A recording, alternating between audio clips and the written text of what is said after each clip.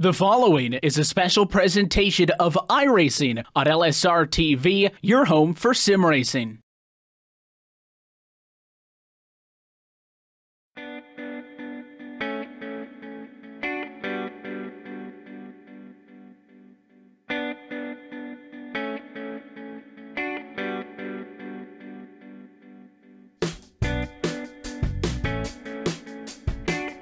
Live tonight from the center of racing, we're here at Daytona on LSR TV for tonight's running of the Make Chester Proud 500, the Drive for Suicide Prevention League. And we're happy to have you along here. I am Austin Coop up here in the booth, and then we've got Trevin Valderrama and Brandon Cutts. Kurtz, he's also here as well, and Cisco Scarb is uh, in the production trailer somewhere down in the uh, in the middle of the speedway, having a little bit of fun. And uh, we're going to have a little bit of fun here in just a little bit as we are currently in a qualifying session for these guys, for these drivers. We are having a full 200 lap, so bridle, bridle yourself up because we're going to have quite the quite the fun race here in store for us uh, tonight. Trevin, I'll go with you first here. We're going to have a, a little fun race, but it's for a special cause, and it's going to be really uh, it's going to be a nice fun race to watch.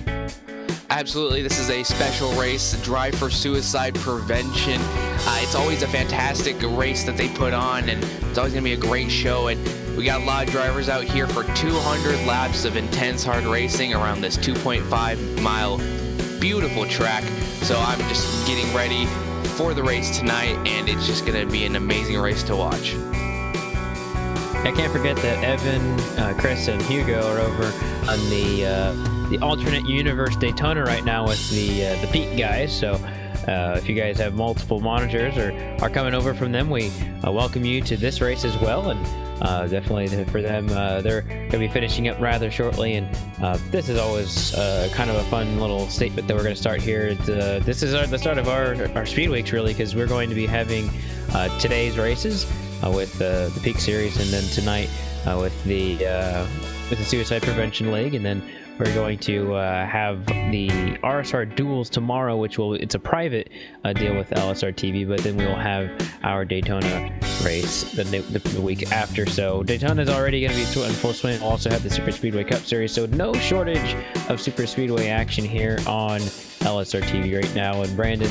Uh, really just really cool to kick off this uh, this uh, the start of the racing season for uh, just about everybody who doesn't race normally like we do with the leagues, and so it'll be, it'll be another uh, fun race to watch here tonight.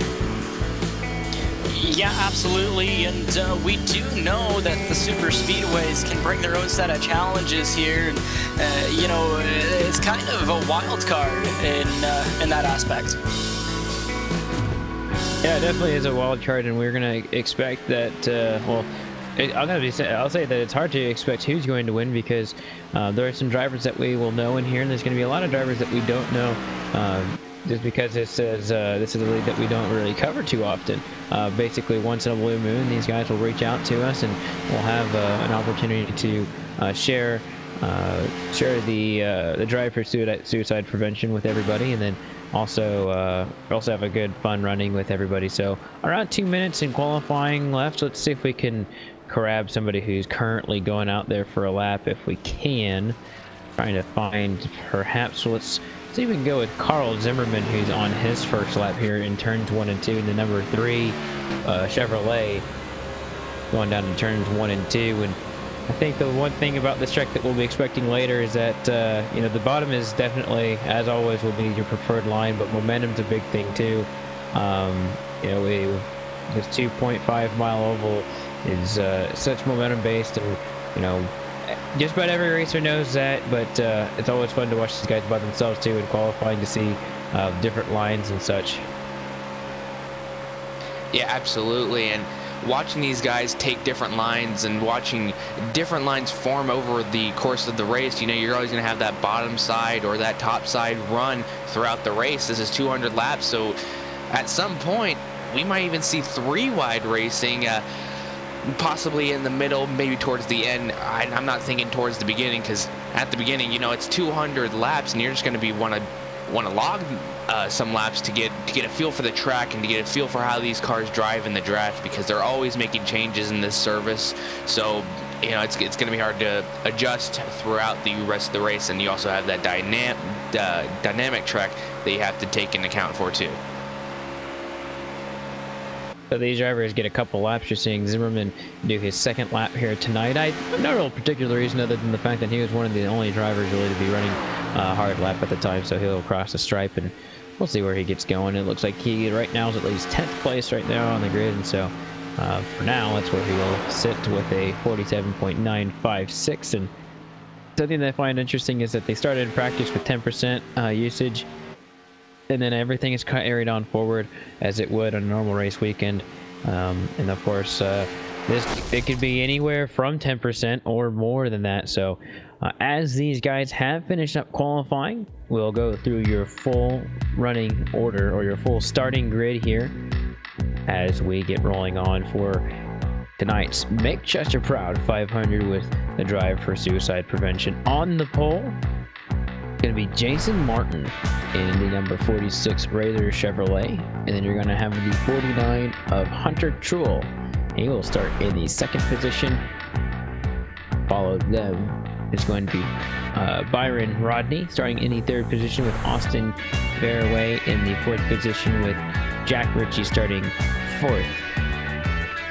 And I will uh, he'll go to Nolan Neiman, who's our starting in the sixth position. Nicholas Schmig starts seventh. Vic Bloom starts eighth. Caleb Weekly will start in the ninth position. Then Carl Zimmerman, we just talked about him. He will start in the 10th position here. Brandon. Shane McCurry starting there in 11th. 12th is Amos Laddock. Then it's Jeffrey Fisher. Uh, Dan Oliver starting back there. Gary Weaver starting behind him. Matthew Allen right behind him. James Miller back there. And it's Williams Van Alstyne, Will, uh, Liam Sheen, and Kyle Beck rounding out the field in 20th. So that's going to look at your LSR and TV starting grid. These guys on to about half a minute ready to go. Some of them are still waiting to get into their cars, ready to grid up. Getting a few, just a few little stragglers of these guys getting here, and, we're kind of waiting for your pole sitter to eventually rise up and get into this car to uh, to lead these guys to the field. I'm sure they'll do that a little bit, but we'll take this moment here. Yeah, he does. Uh, he does eventually grid up and. Uh, we will take a look at your track facts here with Daytona. If you don't know Daytona, it kind of like where you where you've been out, a kind of deal. You know, the track's been around for around 60 years and uh, kind of kind of the staple on racing, especially on the oval side. Um, 2.5 miles, uh, large bank, uh, large banks. I mean, if you're any avid race fan, you've either wanted to go here for a race or you've been there, or you've really wanted to go. Uh, I've been there myself, and it's been really fun to uh, to go there. I've not been there to actually see a race, but um, it was really cool to see for myself. Uh, one of the most historical places of all of racing. Yeah, it's uh, you know uh, a, a, magnificent track, really, and uh, awesome place to go see a race. So these guys right now getting stacked up, doubled up, and uh, they'll get ready for the green flag here this time around.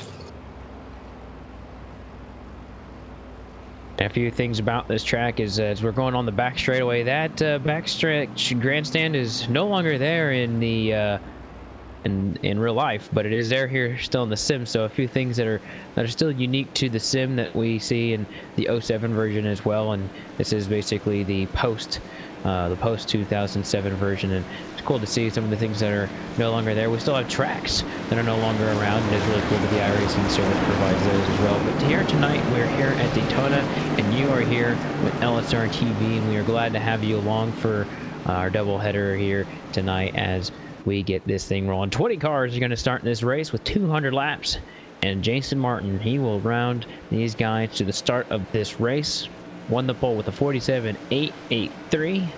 He looks to hold that lead for hopefully as long as he can. Green flag is out, and we will start here for the 200 lap race, 500 miles of Make Chester Proud 500. And here they go diving, going down into turn number one here shortly.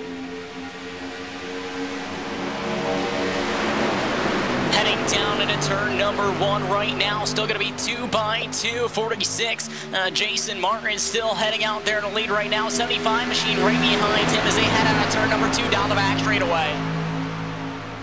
good side-by-side -side action right now. Looks like the seven that looks to be Abas Ladak. He's going to be able to go into the bottom and looking at the very front of this field, the 46 to Jason Martin went up to the top, maybe to go block just for bit, but had to come right back down and lost a lot of momentum to the 75 of Byron Rodney, who just right got, got right up on the back bumper and just gave him a big, big push right there. And that outside is not too bad right now. The 22 of Austin Way, he is trying to figure out uh, figure out how to get on the back bumper of the 49 right here. It's inside line like it always has just goes extremely quick. Extremely quick. Uh, obviously, the shorter way around this track, and uh, these guys are pretty spread up. But here goes the 46 looking to the top. Now go to the bottom. The 75 up the left, but truthfully, I didn't think he had to. He had the position there, but this is kind of all sorts of whack here on the bottom side, and they're checking up pretty hardcore. And looks like got all the way back to the 69 to Shane McCurry. He may be trying to do a little bit of a traffic break down the back straightaway that side by. Didn't quite work out for him. The bottom line had a huge uh, check up there. Top side has the advantage now, and now out front is the 49 machine. The 49 of Hunter Jewell. He will get the lead here on the front straightaway. This will be his first lap led of many. And the 46 will have to figure out how to get right back in with him. And we've got three wide in the middle of the pack. 26 going right through the middle. He's making it work. That's Matthew S. Allen. He's able to get through a lot of drivers right there and gets past the number three of Carl Zimmerman. And that was a fantastic run through him, or through everybody right there. And that'll put him in a great position to start running for this lead. And he's going to go all the way down to the apron. Not sure uh, what's going on there, but I think he thought the five was going to block him the whole way. But here goes the seven here to the top as well. And was late. going to go to the top, now back to the bottom, all over the place is where he's at. And a couple of these drivers are really going up and down to the track quite often. So really going to have to keep our eyes on a lot of these drivers. But he's going to try and pass on the outside. That's a seven of Avis Ladak. He's looking for some momentum, but really what these guys can do behind these two leaders start to form up and get a big push, and they should be right back up, right back up in the thick of it. One thing I'm noticing right now, guys, is the amount of aggressive lane changes going on right now. As obviously, we've seen the uh, the high line kind of fall off a little bit here, but it looks like they're trying to kind of gain back onto the low line now. Some guys trying to make it work, and they're wrecking, wrecking down the back straightaway. Big wreck.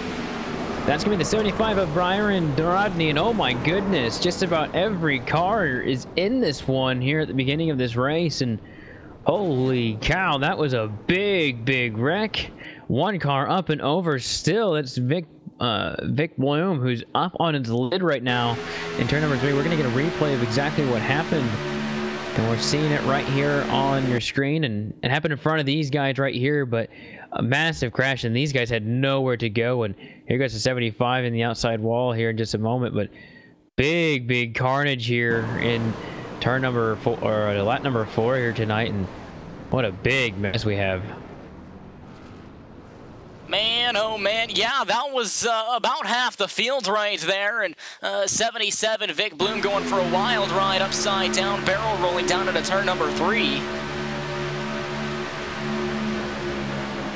So right now we'll pace under lap number five, and uh, fortunately for these guys, they will have a reset here tonight, so uh, anyone that was involved in that accident will be able to take themselves and uh, go down pit road to get that uh, that car fixed. The only bad thing about it is we're only in lap five. These guys gonna have a really long race to have, and quite frankly, they got to be really cautious here the rest of the race because uh, already having a reset used at this point, I mean, that's half the field, if not more. Gonna have to come down and, and use that because uh, they're not gonna be competitive the rest of the race if they are that slow. So we'll see if anyone comes down pit road in this first group. With the 26 of Matthew S. Allen will come down pit road, and so will 22 of Austin Vayer Way, and the three of Carl Zimmerman. He's got some front end damage. 25 of James D. Miller. He's coming down as well. He's got damage. Uh, I think uh, everyone behind him coming down pit road is just coming down from some strategy, uh, trying to get some fuel tires, everything they can need. Actually, there's a couple other drivers that have damage as well. Kyle Beck, he rolls through his pit box and looks like uh, the 83 is also going to come down and get some uh, some repairs done. There's a lot of cars with damage here.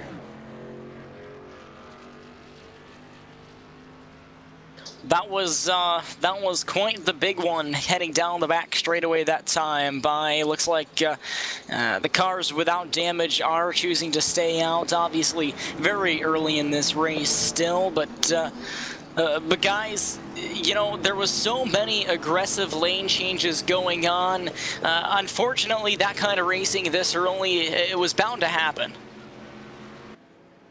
Yeah, I could definitely, uh, I can agree with you 100% there. It looked really chaotic already at the beginning of this, and I was, I was concerned that we might have something like this fairly early, and uh, definitely was, uh, definitely was uh, something in the making. But I'm taking a couple looks at it and seeing um, what exactly started that one, and uh, we saw it a couple times. Uh, that would be the seven coming right back down on the 75 here on the back straightaway. Just wasn't clear and just flat out hooked him. So. Um, not sure if he just didn't check uh, check the bottom or whether he thought he was clear or not, but um, really too aggressive, too aggressive of a move here earlier on in the running. So right now we pace on lap number six. Here's your top five. It's gonna be Hunter Truex with Jason Martin in second, Nolan Neiman in third with Jack Ritchie fourth, and Matthew S. Allen in the fifth position. And driving with this early precaution, we've got strategies all over the place. Drivers sliding through the field. And Matthew S. Allen, he's gone from 16th to 5th. It's been a good good run for him, even though we're not even 10% of the way uh, or 1% uh, of the way uh, through this race. Yeah, and that's that's the benefit for drivers hanging out in the back and just lagging a little bit behind. You know, they're saying we got a long race and I don't really want to get caught up in anything early, so I'm just going to hang back for a little bit.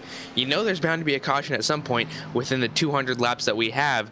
So he just played it very cool, hung back enough where he, if he saw a wreck, he'd be able to uh, dodge it. And now he's up in P8 from P16. So a very smart move by him. And as Brandon was saying, yes, there is a lot of aggressive moves happening this early on in the race, and they need to settle down and get their bearings so they can start start racing good and start logging some laps to get close to that 200 lap mark. Two drivers are a lap down from that accident. That's going to be Vic Bloom, who was upside down, and Gary Weaver was also involved in that. And so he is uh, he's still out there on the track, but I'm pretty sure he's got himself a fast repair. Uh, he was not able to get to the front of. Uh, he was not able to get through this one uh, without having uh, any without having to stay down pit road for an extra lap. So so these guys roll through turns three and four, and we'll get ourselves a restart here just in a moment.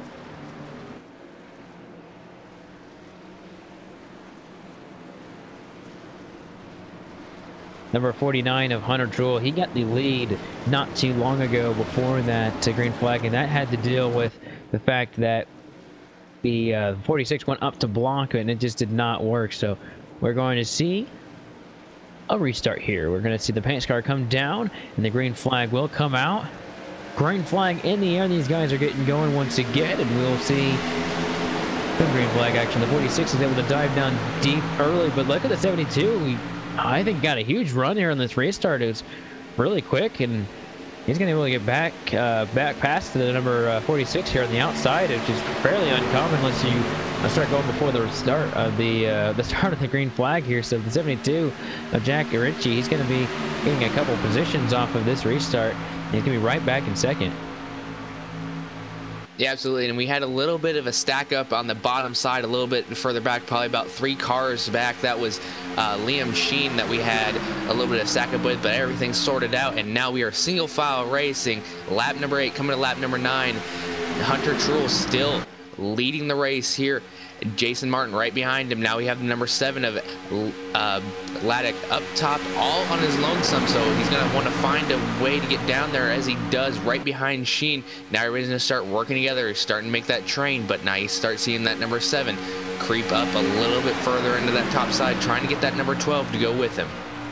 You know, if I was at number seven of Abbas, uh, Abbas I would, uh, I would just stay in line because uh, it didn't work out for him last time. So yeah, just uh, just stay in line there, buddy, and just uh, sit right with them, and it'll be a lot easier that way. And so the 59, I think, is just going to uh, bow out of this one, at least for right now. And he's getting awfully close to the outside wall. Oh my goodness, 59 almost uh, almost scraped the wall right there. So Abbas still right now in the uh, sixth position, actually. So uh, despite being just involved in the accident, he'll still be right up here with these guys. And like you said, single file for the time being, and these guys starting to sort some things out here. Getting 10 laps into this book here as, as we will roll in next time by. And this is where you start to uh, start to kind of see these guys calm down a little bit, I'd say. Get the, uh, the jitters out, but I mean, I will still say with these drivers, your drivers not having a restart or a reset, it's going to be uh, without a restart, a reset. This is going to be uh, real iffy for some of these guys. As we see a battle, looks like for the 11th position, that's going to be Carl Zimmerman trying to find, uh, fight off Byron Rodney, who started from third. He was actually the driver who got knocked out earlier in this race, but he's uh, got that fast repair and he's back in it. Yeah, the guy is back there, uh, you know, kind of separated from everyone else right now. They're kind of on that weird in-between. The car in front of him has a little bit of damage. They're going to try to make their way around now, now heading down into the corner. Looks like yeah, that side by side. vehicle. Uh, yeah, sorry. side by side. Oh, you're fine. Side by side with these guys and the three on the outside. Need getting a little push here from the 75. It should, I should help him out. I'd say a little, just at least a little bit. And this is the fight for, like we said, just outside the top five, or outside the top 10. And Ryan Rodney wanted to go down and get in front of him, but looks like uh, Dan Oliver still has some damage from earlier on, and uh, he's not going to take that fast repair, which might actually be a really good thing for him. Bad thing is that right now no one's wanting to work with him, and uh, if he has no one to push, then he's going to really, uh, really fall down. But uh, a lot of these drivers catching the uh, apron here in uh, in the tri-oval area of the racetrack, and um, that's not very that's that's not good if we see them do that later because these tires are going to wear wear down pretty good later on in the race. So uh, definitely something I'm looking at right now. And these, these guys have to uh, try and stay off the double yellow line. One for passing, and two just makes your car really loose in the corners. Yeah, watching that number 59 at Leon Sheen, he's having a little bit of trouble keeping his car under him. I've seen him go. The competition can't be replaced, and that's what brings people back to the racetrack week in and week out.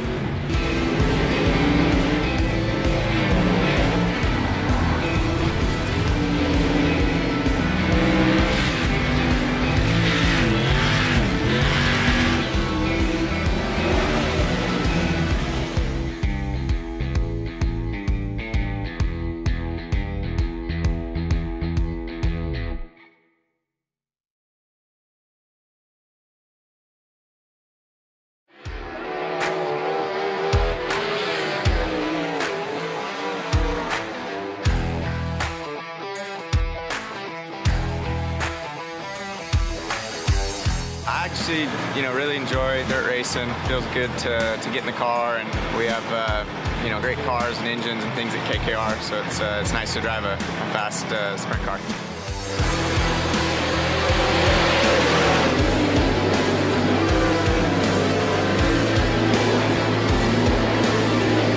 Of separate lines developing. Three wide action on a turn two. Craig Kitzer, Casey Kane, and Garrett Pittman going at it.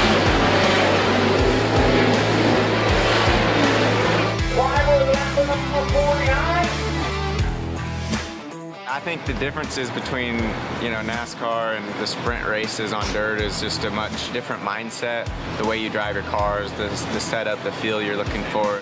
I think one of the hardest things to tell as a fan is when you're watching a race, whether it's a NASCAR race, a dirt race, is just what's really going on in the car.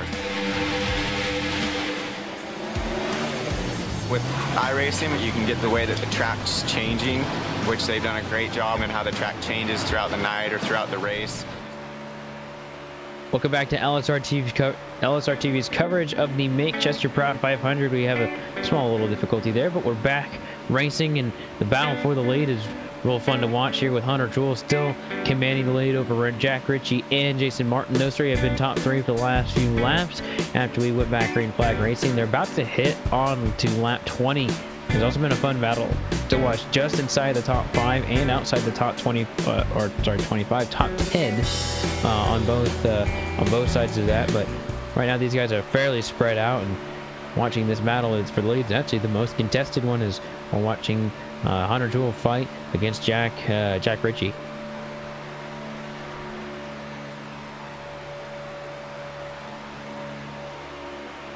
Yeah, looks like uh, a couple guys here up towards the front starting to catch back up. And uh, looks like it's up to about four cars up there now. I thought there was a couple more behind them, but uh, looks like they've actually fallen off once again. Yeah, I'm starting to look throughout this field, and literally the only the only drivers that are really uh, really in a good draft in this top four. And then you've got Abbas Ladek he's kind of by himself. You've got Austin uh, Austin Verway. He's kind of getting uh, getting picked up by uh, Rod, uh, Byron Rodney and Carl Zimmerman, so they're going to be getting back together in a line. And I think Caleb we Weekly is going to try and get back on this train, although it's not easy to do in this draft package, even if it's just straight drivers. So these guys trying to get into a pack, and if any of these drivers start to get really packed up, I mean, there's only two packs really um, or three packs really. And if any one of them starts to really hook up and just push and not fight for position, they should be able to catch any number of these drivers out here. And that, that would be really fun to watch. But I'm coming back and watching uh, these guys here around 9th, 10th, 11th. Uh, Kyle Beck is pushing James D. Miller, and Miller is going to be catching Gary Weaver, and Weaver is watching Shane McCurry and William Van Al uh, Alistine uh, fight for position here. Uh, I know they're trying to get to pushing here soon, but these guys do have a full fuel load that I am aware of, so they should be uh, should be uh, able to make it for quite some time here on fuel. As it looks like uh, Caleb Weekly here up here inside the top 10. He's getting in on the inside of Byron Rodney for position here out of turn number two.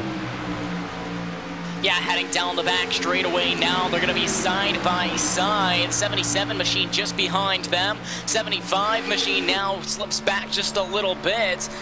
And uh, Caleb Weekly pulls out in front of that little battle that they had there, and they'll go single file racing once again. And Austin, uh, it makes me wonder, did that first wreck kind of scare these guys? They don't want to really race too close to each other right now. Yeah, I think that and the front group really just got off to a great start. I mean, they're still, I mean, they're just pulling away from everybody.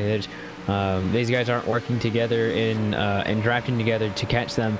And uh, the guys up front, I mean, they're still fighting, I think, at least a little bit, but they know if they can get, they can pull away, they can at least make moves that aren't going to really hurt them too much. Uh, I mean, these guys are two and a half seconds behind everybody else, and they just, I mean, I'm watching here, uh, looking at the number seven, the 22. Um, these guys just are really needing to work, uh, work to nose to tail and get some drivers packed up. And Looking at Carl Zimmerman too, and Carl Zimmerman and the three almost got together there in turns the three and four and almost uh, almost got each other. But here is uh, the number seven of Alex Ladek kind of leaving the door open for the 22, and this isn't going to really help their cause to catch these guys up towards the front. So Ladek is going to be on the outside here, and he's going to get a good push from the 75 into turn number one. And here's the push. He actually lets off just a little bit as to not push in the corners. We know that's basically the only rule in super speedway is uh, don't push in the corners. And so the 75 let off just a little bit as to not do that. So we've got a pack here. They should just, they have the numbers to catch this front pack, even though they've got a lap, uh, lap car, but they really need to get a line and they should be able to catch these guys up front. Yeah, absolutely. It looked like a couple of guys maybe started to get a little bit impatient. Uh, you know, instead of letting the seven machine kind of drop back, uh, fall, fell out of line just a little bit. Instead of letting him drop back a little bit, uh, they kind of jumped up to the top, tried to get a little bit racy. So, and now we've got these guys two by two, and they're not going to be able to make up any ground on lead pack. And they're falling off dramatic or drastically right now. They are going so far back. They are over three and a, almost four seconds behind just by going two by two. And they are getting positions right now, but at the same time, uh, was, uh, you're here to win the race, right? I mean, I would assume that all these guys, you know, even though they're not working to uh, to to help another driver win the race, or at least going to try and help themselves out a little bit. As Ladek's going to go down to the bottom, and 22 clips the apron, three is going to go to the top. So uh, these guys trying to try, trying to figure something out. I'd say of uh, for trying to get back to the bottom, but uh, Ladek was able to uh, cross down back to the bottom with a push from the 75. 75, I think, has one of the stronger uh, stronger runs out of, it, of these drivers in this pack and is able to really push. But Ladek, I, am unsure if he let off the gas right there, but this pack is really uh, really not going anywhere right now, and I think it's a shame for as many drivers are right here in this group. Yeah, them being a 2x2 right now is not helping the case for sure. Now heading down the back straight away, they're still going to hold 2x2 right now. These guys, uh, I think if they were to get single file, as you were saying, Austin, they would be able to make up some ground on that lead pack. But, uh, you know, the lead pack, those guys watching the numbers right now uh, in their black boxes and, and just, you know, watching these guys fall further and further back are, are absolutely loving this right now. And this pack behind them just a 10th place and behind. They're actually starting to catch these guys uh, which would will be really interesting to see if they're going to try and push the bottom or the top or do what they're doing and and uh, be a little bit disorganized here in in this turns one and two. But they're doing a good job of catching them. That's shane mccurry in the number 69 and the 20 or the 62 of william al uh, uh, Van Alstyne. I'm gonna try and get that name right, so when he goes and watches it later, he'll he'll at least appreciate that, that I tried. But this these two cars alone, just the two of them are catching this pack right here, and right now they are actually going to uh, they're actually getting closer to this pack up front, and they're now starting to get single file. So this is getting to be really helpful right now, and. I'll tell you what, these guys right here are catching uh, are, catching up pretty quick. So we're going to go radio broadcast style just because of the fact that we are having a slight problem with the sim still as we did earlier. We're going to have a slight reset on our end, but we're going to give it to you as if you were listening to it on the radio. So still side by side here with the 75 of Byron Rodney on the inside, Abbas Laddock, and he is going to be pushing the 22. And we're not going to talk about those front few guys because they're still single file, but this big pack right here is starting to get a lot bigger. 22 leading the charge. 22 out front of this thing right now. 7 machine Abbas Laddock maybe look at the high side. Not going to be able to get anything done. 75 machine kind of stuck outside by himself right now. Blocks the, uh, the bottom line. It kind of blocked by that 12 right now. The gap may open up, but that's going to close real quick if he doesn't slip in there. Abbas Laddock looking to the outside as if this was a, a pass for the lead, but I mean, he's actually going to try and push him down just a little bit. Tries to get a little bit of air off the right side of the 22. This leaves everyone uh, leads everyone to come right back on the bumper, and they're going to be pushing now from outside and inside. Seven on the outside with a push from the 75 of Byron Rodney. On the inside, you got the 22 and the 12, and this is bringing everyone behind them. You've got the three of Carl Zimmerman, who's bringing in the 30 or 62 of William Van Alstyne. And more, more of these guys are coming in. You've got the, this uh, seven laps down, Vic Bloom, he's in this thing still. And then you've got Shane McCurry, who is in 10th position still, trying to uh, trying to do something. But this is a big, big pack. They are five and a half seconds back as they cross lap 29. Yeah, pack starting to gain more and more cars right now. Now heading down into turn number one. Still going to be two by two. 22 on the low side, seven up on the high side right now. Low side being held on by the 12 machine back there, uh, right behind 22. Couple guys ducking down to the apron right now. Maybe a little bit squirrely as they head down the back straightaway. Still two by two. Abbas is going to go down to the very bottom of the track and clear this bottom line. But the 22 gets in the apron, kind of has a little bit of a bobbles, but able to keep it up. But the 70 goes up to block the 75. So yeah, this back is going to stay this way for quite some time if uh, these guys continue to fight for the for the top position in this pack. I mean, I don't know if these guys realize, but this is not the race for the lead, and I think they would be it'd be wiser to to try and get out front and start to push. But look at this outside lane; it's starting to really get good here. 20 62 of William Van Alstyne, he has actually pushed the 75 of Byron Rodney to the front of this big group here, and so that has uh, that has got these guys a lot more uh, momentum. What we have failed to mention, though, is that we have had a lead change, and it happened uh, a few laps ago, actually, with a push from the 46, the 12, uh, the 72 of Jack Ritchie. He went to the lead with a push from uh, Jason Martin. So those that is a battle that is uh, that has changed for the lead. So now the 72 will begin to log laps as our new leader, and so that is uh, the biggest change. Uh, that is the big change for uh, for the lead right now. And well, uh, we've looked at that, and we'll kind of go right back to where we were because it's still a dogfight right now for this for this back racing here. And it's fun to watch, but I just. And I, I know these guys can get to the front if they just work together in a single file line. Uh, yeah, Austin, and the thing of it is, is uh, these guys, uh, once again, they're starting to pull some really aggressive moves. It's going to be really tough for them to not only make their way up front, but to stay racing clean and green as we see almost a bumper hook to the three car from the 69 machine that time by. These guys really got to be careful.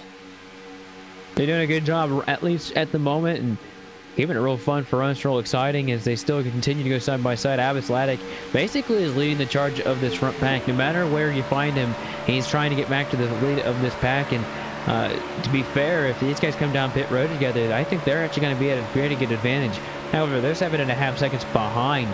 So uh, if you come down with this big pack, if they communicate that they're going to come down, which will should uh, which should happen here in the next uh, 10 or so laps. This will be pretty good for these guys. So starting to only have two drivers on the outside lane. That's the 62 of William Van Alstyne and the 12 that is going to be Caleb Weekly, but I think we saw somebody hit the outside wall just a second ago, and uh, that would be Vic Bloom. He crushed the outside wall, I believe, and uh, he's already seven laps down, and he just did it on his own, and I don't know if he just wasn't putting enough wheel in it or something, but yeah, he's going to be really slow now. He's going to lose the pack off these guys, and uh, really, really unfortunate for him, at least at the moment, so that's going to be uh, every lead driver is basically in this pack except for your first four drivers and you've got a few stragglers uh, a few seconds back. You've got Jeffrey Fisher, and you've got Nicholas Schmig, who are in the 14th and 15th position.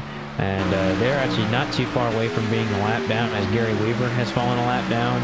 James D. Miller has fallen a lap down, and they are actually uh, behind this pack, at least being Gary Weaver. He's behind this pack right now. One thing to notice about the second pack right now, it looks like they're trying to get back to single file formation as I say that. 75 machine kind of jukes out the 7 of Amos Lannock. Now he's going to look to the bottom, leaves the 7 machine out to dry up on a high side, heading down into turn number 1. Couple of guys maybe going to try to go with him. Looks like Laddick is going to be freight train on the inside. This will be the first time Laddick's gone to the outside, and it's not really been uh, not really been good for him. But he's going to get a good push from the 62 here if they're able to get them to the bumper of him and Laddick getting a great push from Val Val Van Alstyne. I'm trying to get that name right, but Van Alstyne giving a great push. Uh, and the 7 almost went to the outside wall, but he's trying to close in the middle of the 22 and the 69, and he should have the opening right now if he wants it, but he doesn't. He's going to keep going to the outside. Coming really fast, basically wherever he's at. The 69 wanted to go to the bottom and knew to the top and almost wrecks right there. He got really loose in the tri-oval. That was really scary for the moment.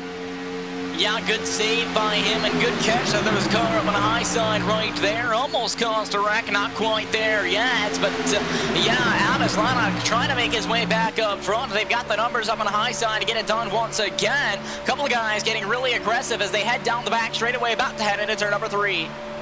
Big push to the third number three from the 69, and this is getting really antsy with these guys. They're going up and down the track fairly quickly, and I'm getting really nervous about this back right now. It was really single file for a good portion of it, but they're starting to uh, to get double file back as if it were for the battle for the lead here. And so the number seven of Abbas Laddick charges on the outside with the 75 still on the inside. And you got to wonder, uh, as a driver on the inside, what, what do you need to do to, to make sure that outside lane isn't strong? Because it is strong tonight, at least with these drivers.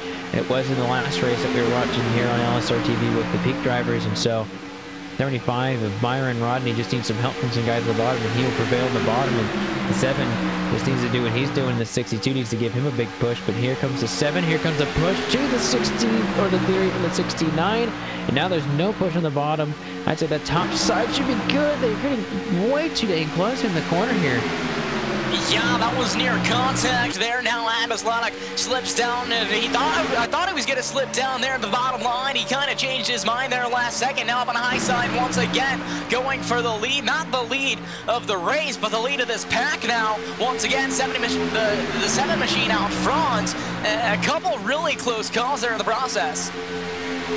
And yeah, right behind him, a lot of close calls between the 3 and the 69 and the 12. And a lot of them are going below that yellow line on in turn three and four, and they need to keep their cars up there. They'll be a lot, a lot faster, I, would have to say, and they'll be able to stay locked up out of the corners. Here goes the 12, almost in the outside wall. That's Caleb Weekly, almost crushes the outside wall, but was just uh, just close enough not to hit it, and so he'll stay on the outside. And looks like the 22 of uh, Austin Verway, he'll stay on the uh, he'll try and look for an advantageous position to be in. And then you've got Gary Weaver, who's really hoping for a lap back here. He needs to stay with these guys and hope that they don't wreck in front of him because uh, right now, if he was to, if the caution were to come out, uh, would probably have it in front of him, but if he misses everything, he should get his lap back.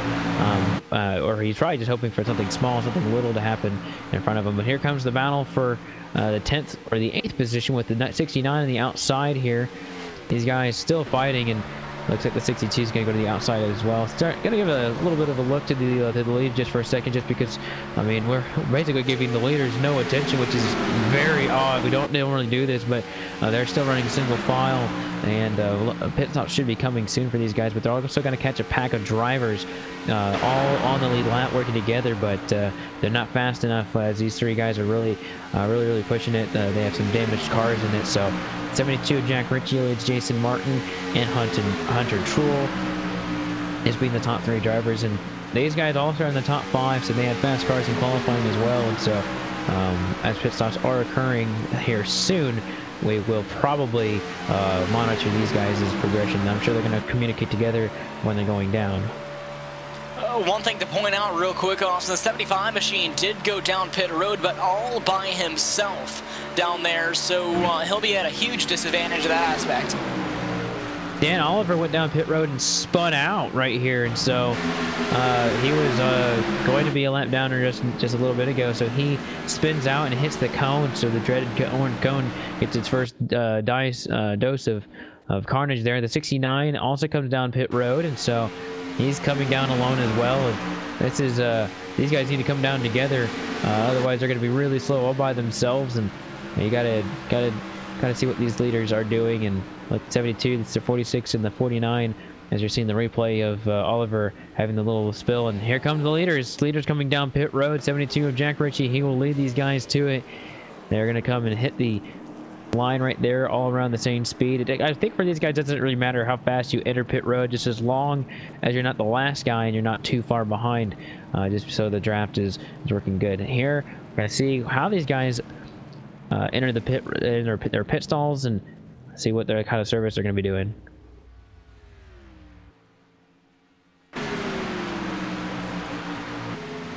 So it looks like those guys down on pit road now still waiting for a couple of others to head down that way as well.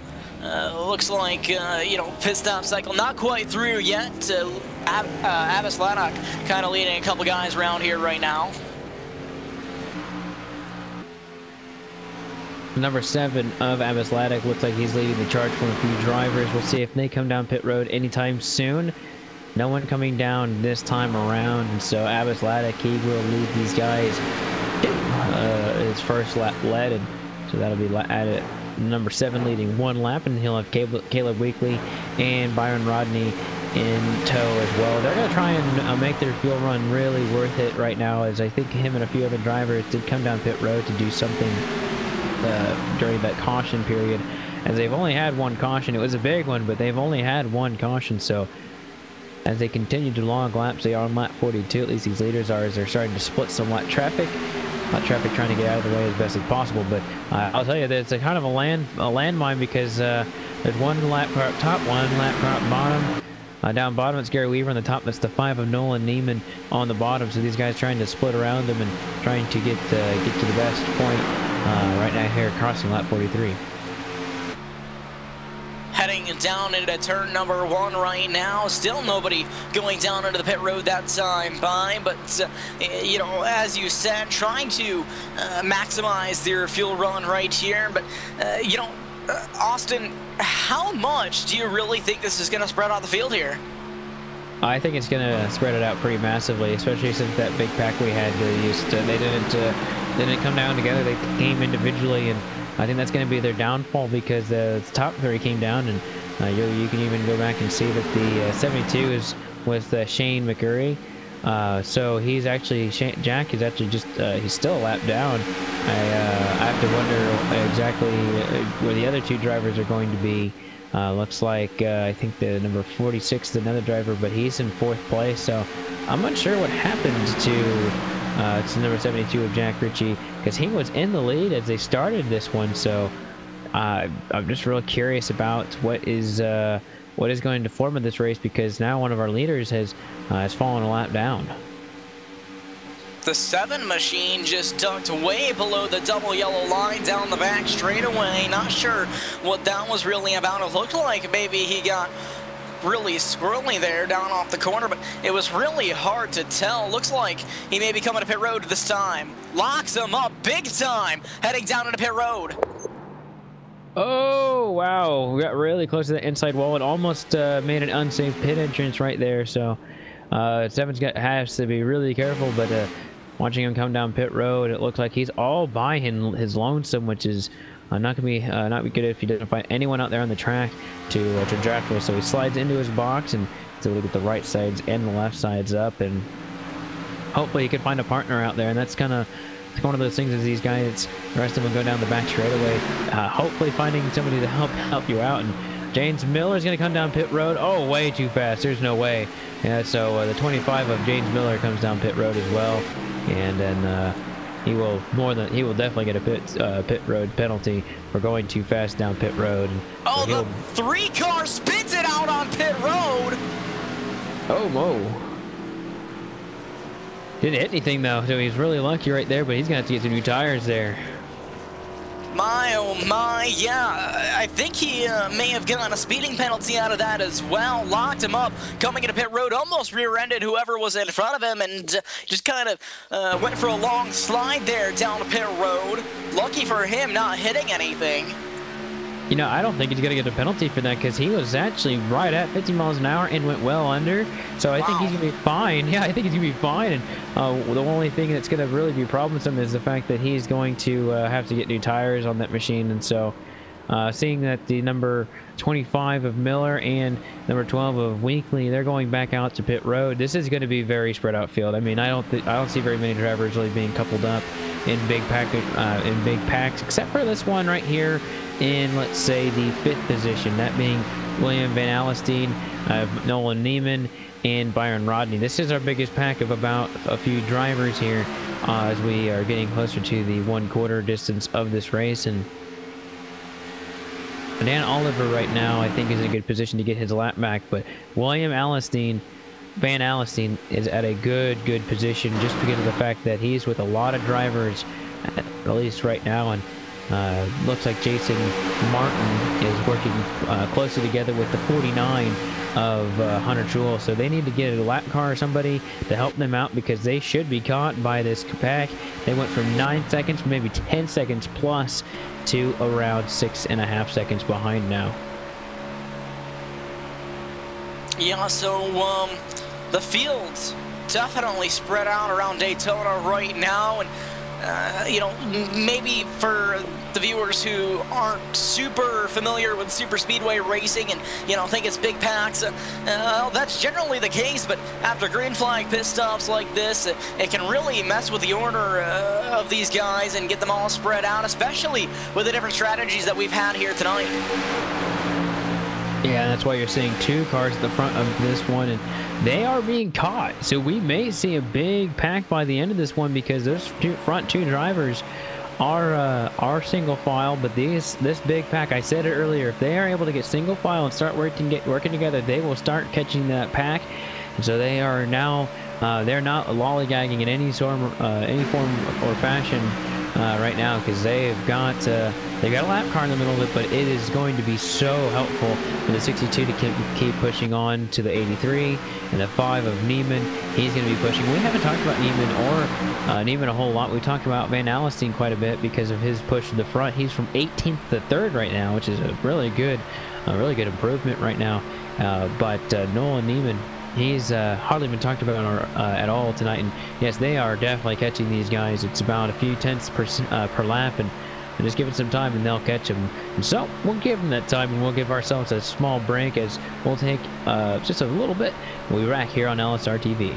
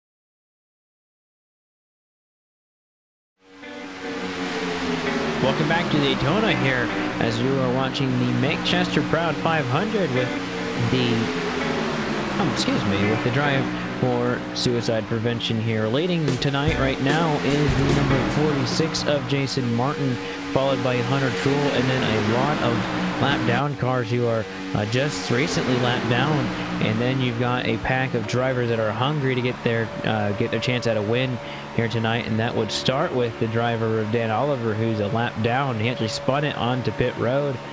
And then you got William Van Alstyne and Nolan Neiman there just inside the top five with uh, Byron Rodney. Uh, they're trying to push their well, their ways back up to this front groove, but they've got to push hard because they've got a lot of lap cars helping that front two, the front two drivers right now. Yeah, absolutely. And we got about six cars in this lead pack. And then, as you said, behind, you got these two cars fighting, or excuse me, yes, these two cars trying to get back to that lead group. They're about uh, seven seconds behind. And I they're just to have to keep on pushing because throughout the pit stops, as Brandon was saying earlier, it just shakes up the whole entire field and you got to work your way back up to the front. So uh, you see a good majority of the, actually half of the field a lap down at least. And then the rest are just fighting for position. So you see the, the drivers coming down the backstretch and now Jason Martin and Hunter Truel uh, leading that pack as you see them going across uh, lap traffic as he sticks up to the high side. Van Alstyne and company, they are starting to catch this front group here, Brandon, and uh, uh, they're doing a good job of it. And I was I was thinking at least at some point that those lap cars would be helping. They helped for a little bit. They basically put a uh, just push them just push them forward just a little bit, uh, but they are losing them, but not as much as they were. They're mainly just about a tenth or so each lap, and so right now uh, these guys really have to work a little bit harder if they want to catch them quickly.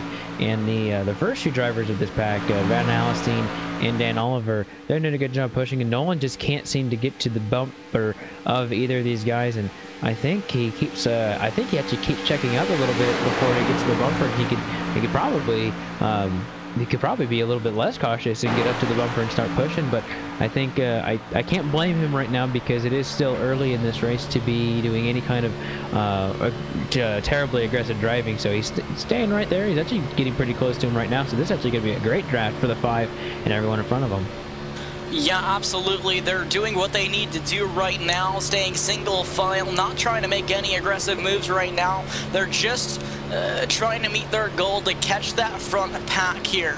Uh, you know, these guys, uh, right, as of right now, uh, the chances of getting a caution aren't that large. So these guys just doing what they got to do, catch the front pack, see if they can get racy once they get there, but they really have to try to contain themselves, and they're doing an excellent job of that right now that Jason Martin will still continue to lead these guys with Hunter Tool. And this is a large, this is a large pack with lap, some lap traffic, and they're still fighting for position. I'm watching the number six or the number 99 of Nicholas uh, Schmig try and pass the number 60 of Jeffrey Fisher, and uh, you know these three guys, including uh, Liam Sheen, uh, they're fighting for a lap back. Uh, so you've got to imagine that these guys uh, they're they're trying to trying to get the lap back into the hardware or trying to get it back and in some sort of sort of fashion with the Lucky Dog. And uh, you know they've got the, they got to fight the leaders if they can try and get the, the hard way, which is not going to be easy. And uh, getting Lucky Dog will probably be one of the easier ways to do it. Sad thing about that is that uh, they got to fight each other still for position for that because the top nine is on the lead lap, and I think they're going to gobble up another driver here shortly. Uh, yeah, it looks Abdul is in ninth place. He's about halfway across the track, 27 laps down, so they'll probably catch him uh, at some point in the race and going to go around James D. Miller here on the outside, and that was a little close for comfort. Or three wide here at Daytona. They hit each other. That's the six. That's the 49 of Hunter Truel. Oh my goodness, that was a late drive to the outside by the by the 49 or the 46, and definitely should have started making his arc a little bit. But uh, they made it out of it somehow. I don't know how. I held my breath that whole entire turn. I saw that car at the bottom, I was like, he should probably get up to the high side, but stayed down low, and everybody made it through semi-okay. So we're back racing again. You got two wide action behind you between the number 60 and the number 99. It's the position, and then as well as the number three, that's Carl Zimmerman. And number 99 now getting up to Carl Zimmerman and trying to battle for position, but if we want to look back or look forward or backwards, whether however you take it, Van Allenstein of uh, the number 62 machine, he started 18th and he's now third. So that just goes to show if you stick your nose into somewhere. Uh, somewhere where you're trying to get in position, it, it'll pay off for you because or you're just hanging back and it's just really working out for him and he's in third place so we'll see how well he can uh, fight the way through uh, this uh, uh, group of cars coming up as you see were 77 down low oh my gosh it's getting very close yeah, these light cars don't have to get out of the way per se. By and by that, I mean they don't have to to go anywhere particular, but they need to keep their line. And all, a lot of these lap cars are actually doing just that. And I, I think the leaders are expecting them to move, and um, they're saying exactly where they are. And I think uh, the the worst thing to do as a lap car is to suddenly move and to try and get out of the area, out of the way. So I think you're watching this line here, the number 83, go to the outside. So this is actually going to be really helpful for them. Uh, you know, for them to be uh, going the outside very cleanly, very a very good pass around the 25 here. This is probably one of our cleaner uh, cleaner attempts at getting around some lap cars here, as it's been really, really dicey uh, throughout the race. So uh, Dan Oliver, he's he's getting a humongous push for these guys. Remember, he's a lap down, so he's basically been uh, the consequences of his uh, of his pit road issue. Uh, they're they're still going to hurt, but they're not going to be nearly as bad because he fell in the clutches of this this pack that's really that's really helped him out. So. Uh, funny enough, the leader of this pack is not, and the second pack is not, uh, not on the lead lap, but still benefiting from it. And so uh, William and Allison, he's in the third position. Uh, just looks really, really funny uh, when you when you start to take a look at it. But they have absolutely ate into the lead of these uh, of these of these leaders, and they are only four seconds behind as you're watching Nolan Neiman right behind these guys.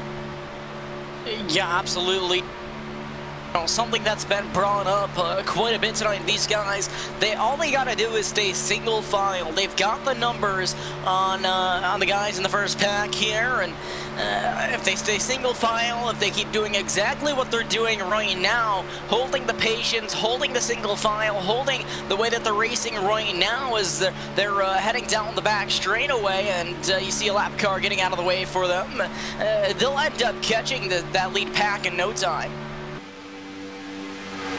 Remember, the lead pack consists of about five or six drivers. Martin leads. I think he's led all uh, most laps tonight.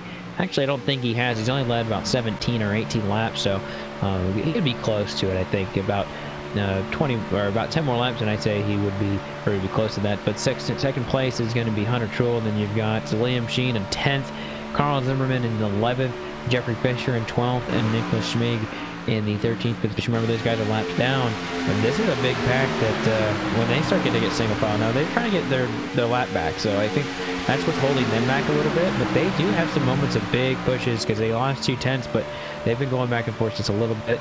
They are uh, kind of having two, three car tandems right now. The first three and then the second three. Um, and something I have not thought about, at least until right now, is um, the, the, engine temperatures for these guys. They haven't been that close to really uh, to really have those issues, but even on a long run like this, being in second on uh, being second in a pack of driver that's pushing, it can be problemsome uh, here uh, in the late in the uh, in the mid goings of a race like this as we cross lap 64 here and just watch the uh, I think that was the 59 that caught the caught the double yellow line and did it again right there and uh, it's really close for him to have a disaster if he does that again but uh, able to keep it steady uh, here as we uh, are on the back straightaway. Yeah and on most tracks for NASCAR it's all about tire wear but for Daytona and Talladega super speedway tracks, it's all about fuel mileage and keeping those engine temperatures down. So we have to keep an eye on that. As you see just a whole bunch of drivers trying to do different strategies as they come into the pit road, trying to maybe go for that short pit or long pit and trying to uh, stretch their fuel mileage as much as possible. And as you were saying, gotta watch those engine temps as you see the number 49 looking to get some fresh air into that engine and trying to cool it down a little bit because you can't have an engine expiring only on lap 66 out of 200. That won't be really beneficial to you. So you gotta be watching that as you see him getting a little side, uh, like half of the car on the 46 and half of it into fresh air So that that'll give it some draft still, but still able to keep the engine under control. Watching number seven of Abbas Laddock uh, be uh, very much out of the way on the top side, which is kind of what you prefer. But look at the bottom uh, side. Oh, the 50 just basically, or the 60 basically cuts the nose off the 99 an inch more with him, and he would have been in the inside wall. He would have spun himself out. So uh, really, really close for the 99 and the fit and the 60 right there. But 60 tried to get some momentum with the number seven right there, and just did not happen. But uh, Laddock should be able to get least a little bit of a draft from these guys, but I think more importantly, uh, with these guys coming in charge, they've got about a few more tenths that last time. They'll be able to use Laddock as uh, some momentum uh, here in just uh, in just a little bit if they're able to uh, catch him the left, which I do think is I think is very doable. And then Dan Oliver uh, will actually be uh, really looking to get a position because uh, Oliver will be going against uh, right here. So you're seeing that long shot of Laddock. He just passed the camera, and then here's the number 14 of, of Oliver. He'll be getting that position. So going from 14th to 13th to pass the number seven. So that will be uh, that'll be really fun to watch as they start to get closer. Uh, closer and closer to each other as it's only about 3.3 seconds now between this front pack and the back pack.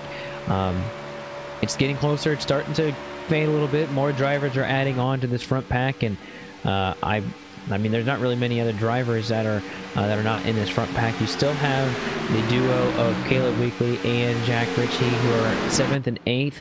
Ritchie must have had a problem on pit road, and so he had to. Uh, he's now having to work with the 12, and then you've got James D. Miller. He's got some right rear damage. He's three laps down. Tell you what, running by yourself is not very fun, and he's been doing that a lot of this race, and he might have some company here, and they're going to probably whiz right by him on the outside, so yeah, that's exactly what's going to happen. So he's got some front end and rear end damage, which is uh, never too much fun. So he's trying to hope for something to happen here for him, and then you've got the duo of Shane McCurry and the 77 of Vic Bloom. He was on his lid earlier on, so that's you trying to figure out uh, their way to uh, get themselves out of a big hole. Shane McCurry trying to get his lap back. So, and then we're back to the two groups that we are talking about. 3.3 seconds still between the two groups. Yeah, absolutely. And now you see just how the drivers are just going single file. You see, sometimes they're going double, sometimes most of the time they're going single. Uh, you're just gonna want to keep that single file pack, just trying to trying to get away from that other pack as well. And uh, you know, if, if, you're going double file, it starts to slow you down a little bit. So you just got to keep that angle going straight. The number 60, 99 nearly get into each other. That was very, very close.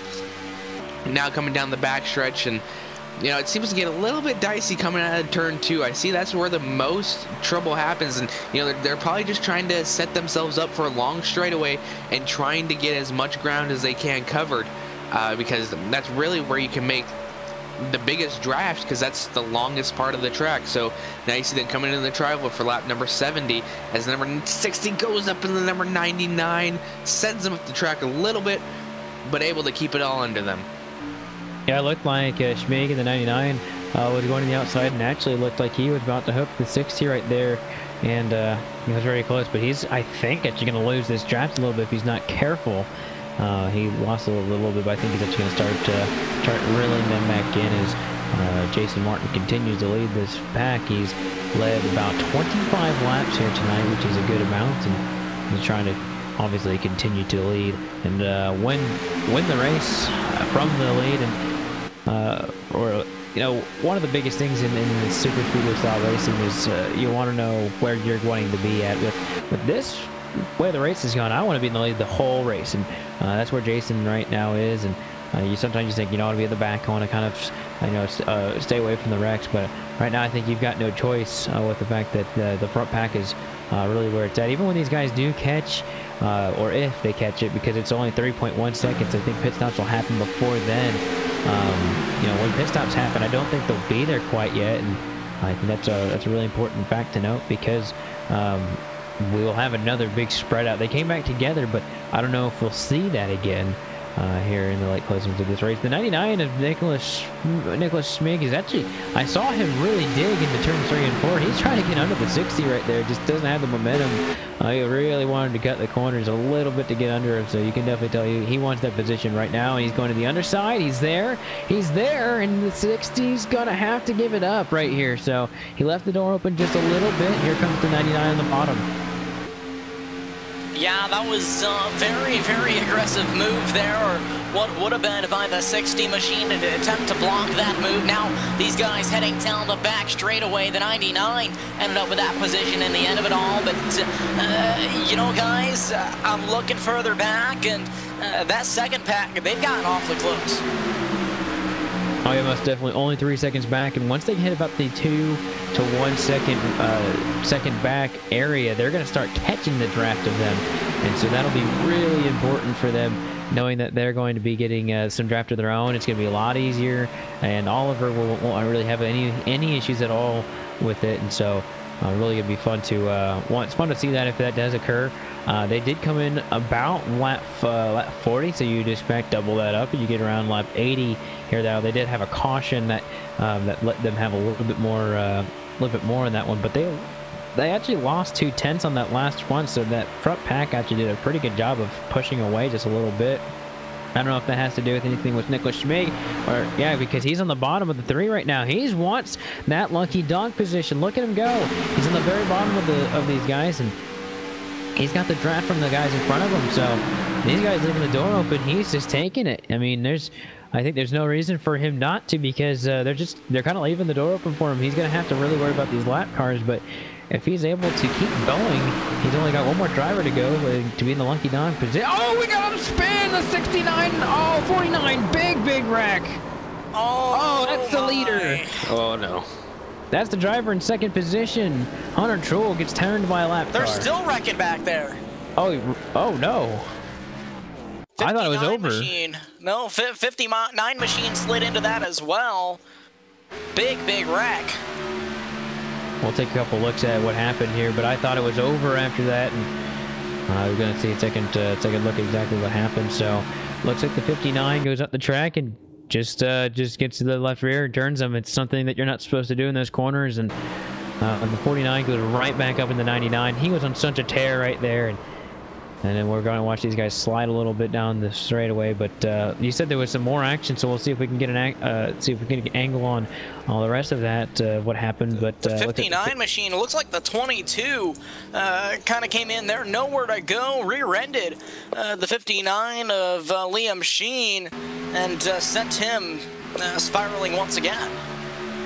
All right, we're taking a look right here. So the uh, they're wrecking up there right now, and that's Abbott, uh, uh, Laddock, who's pushing the 75 right there, and you can see these guys going all over the place. And yeah, it looks like somebody's in the outside wall in the 22. Oh no, yeah, there's nowhere to go. That's that really stinks for the 22 right there. So that will bring out our only our second caution of the night, which is um, good for uh, good for them. But only the only thing about that is that that means uh, we have quite a few torn up race cars here tonight. So the 49 of Hunter Truex, he'll have to take his reset. He's still in second place, which is quite remarkable. But uh, reset's going to have to happen if he hasn't already taken it. Uh, here tonight. So Jason Martin, all alone by himself, doesn't have to worry about coming down to pit road at any rate of speed. Probably one of the cleanest cars out there, and you're gonna see some guys taking some lap uh, or uh, wave arounds here probably. And Jason Martin comes down, and so a lot of other drivers getting some damage fixed, getting their tires, uh, new tires, and getting fuel for themselves. And I think Jason may have went through a stall. He did, just by a little bit, but they're gonna put the jacks up on it anyways as everyone comes down for service. The thing that I feel bad about the most is Nicholas Schmeg. He already used his fast repair in his first incident, and now he has to wait for the pits to come out. And now you see the race off pit road. 49er Hunter Truex will get that race off pit road, followed by Van Alstyne, or yeah, Van Alstyne, and then Nick Nolan Newman.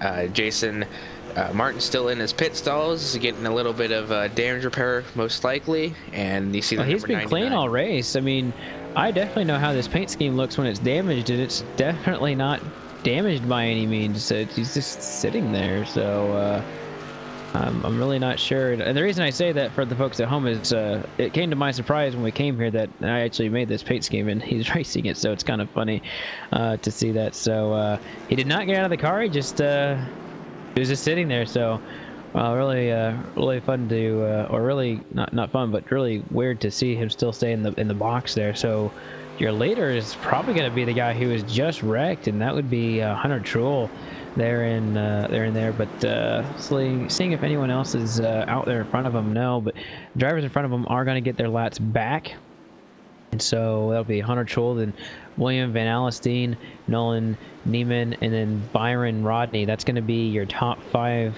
uh, more than likely, with I think uh, Jack Ritchie, who will really take a breather from that one, as he uh, probably was really, really hoping for caution.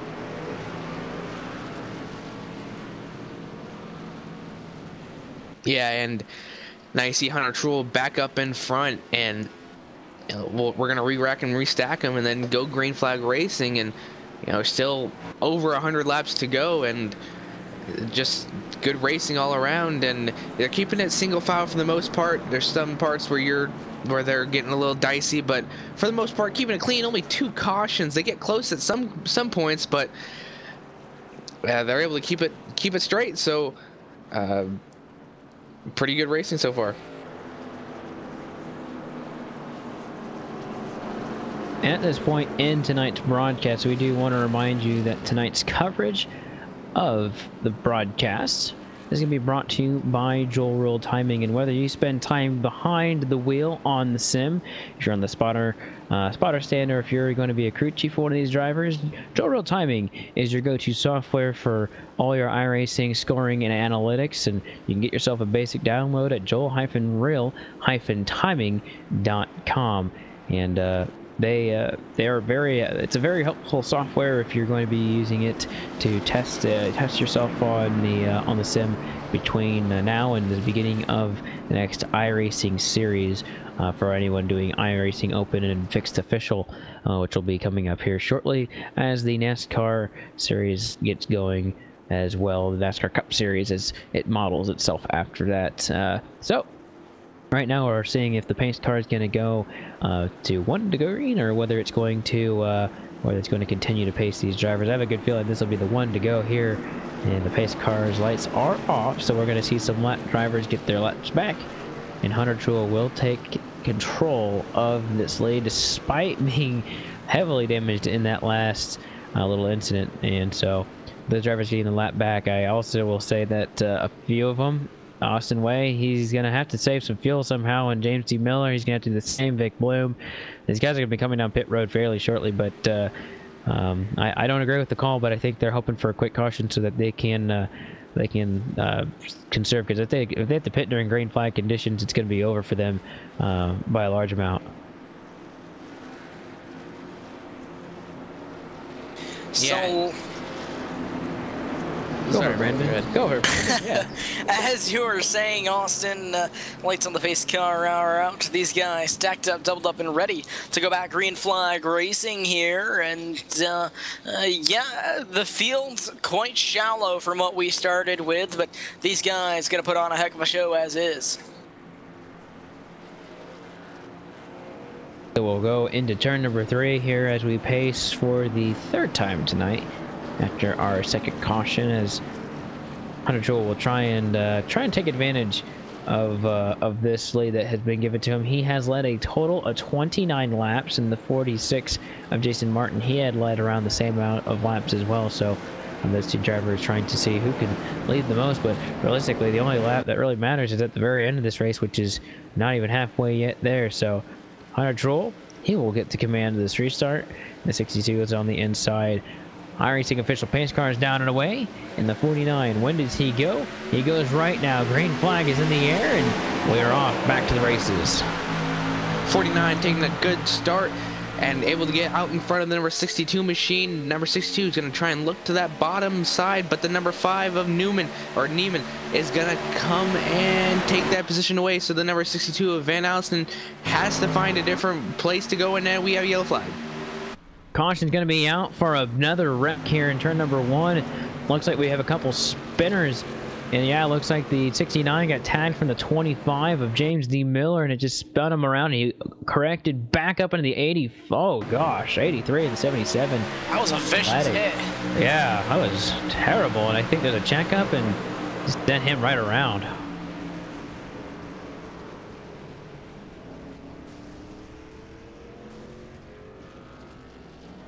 So that puts us back under the caution flag once again here at Daytona, guys. And, uh, uh, you know, we were talking about maybe a couple of guys hoping uh, for the quick yellow to come out, the, the guys that were trying to get their laps back, and, well, they have it.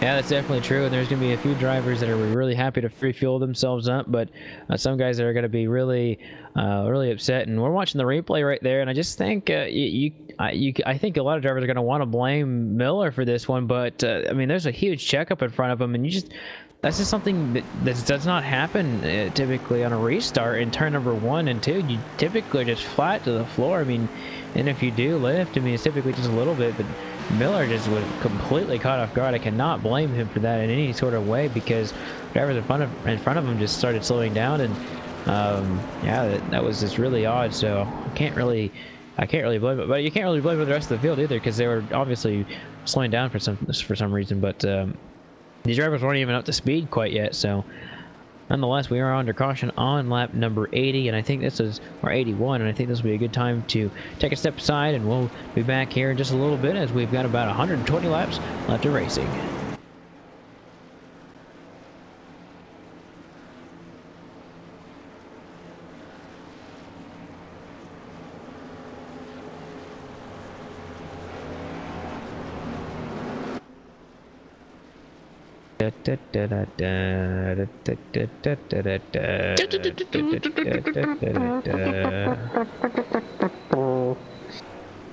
Why are we doing this?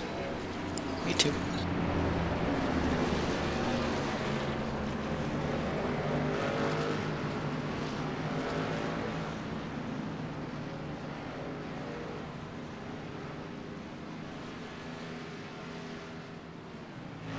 I'm almost out of popcorn.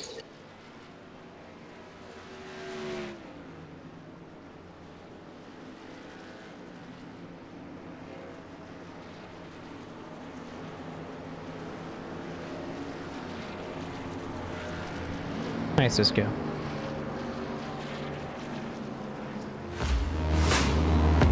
Hi, I'm Ryan Preece. I'm driving the number 20 JGR Toyota Xfinity car this weekend. Really great opportunity here at New Hampshire at my home track. Over the past few weeks, I've been on iRacing, practicing a little bit here and there with the modified and the uh, NASCAR Xfinity car, so been a lot of fun been a great tool for me to, to kind of get used to that stock car body again and uh, be prepared for the race today. Well, yeah, it's it's a mile long, so um, the draft kind of plays into effect here with the modifieds. Punches a big hole in the air, uh, and we run restrictor plates, so uh, it makes a big difference. Um, just really fast, and, and, and, it's our Daytona, so that's what's great about it. And uh, we have a fast car for tomorrow.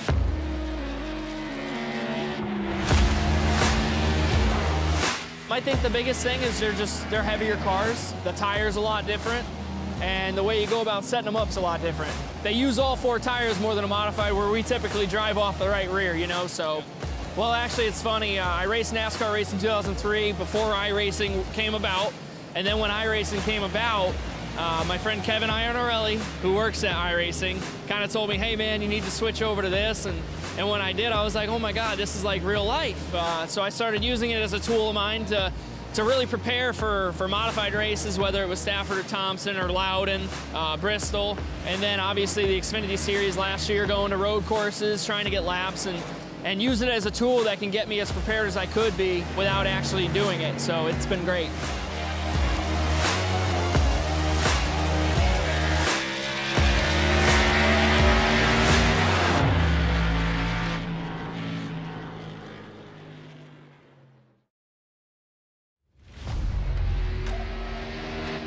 Flag is out. Pit road is now open. Keep your eye on those gauges. We'll give you four tyres. Three, two, one, now.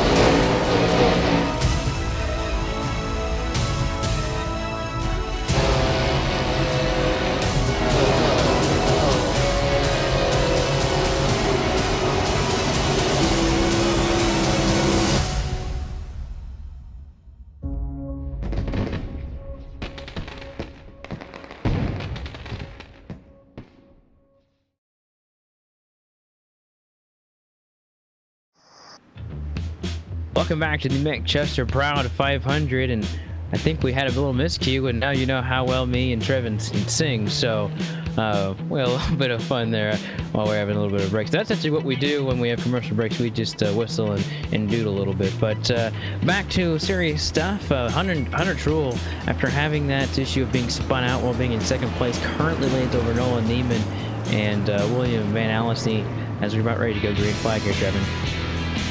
Yeah, absolutely. And we have still a good amount of racing left to do. We're only on lap 84, coming to halfway in 15 laps, and we only got nine drivers on the lead lap and one driver one lap down then one driver two laps down one driver three laps down so on and so forth so we got a lot of drivers trying to get their laps back and uh, they're just going to be still hard racing to the end of this and you see Hunter Truex still out in front, followed closely side by side to uh, the number five of Niemann. So coming to turns three and four, and I, the the assessment that I'm making is I know I said it before, but the most action is in turns one and two because coming out of turn two, they have the biggest amount of time to make up time coming down the backstretch, coming to the green flag.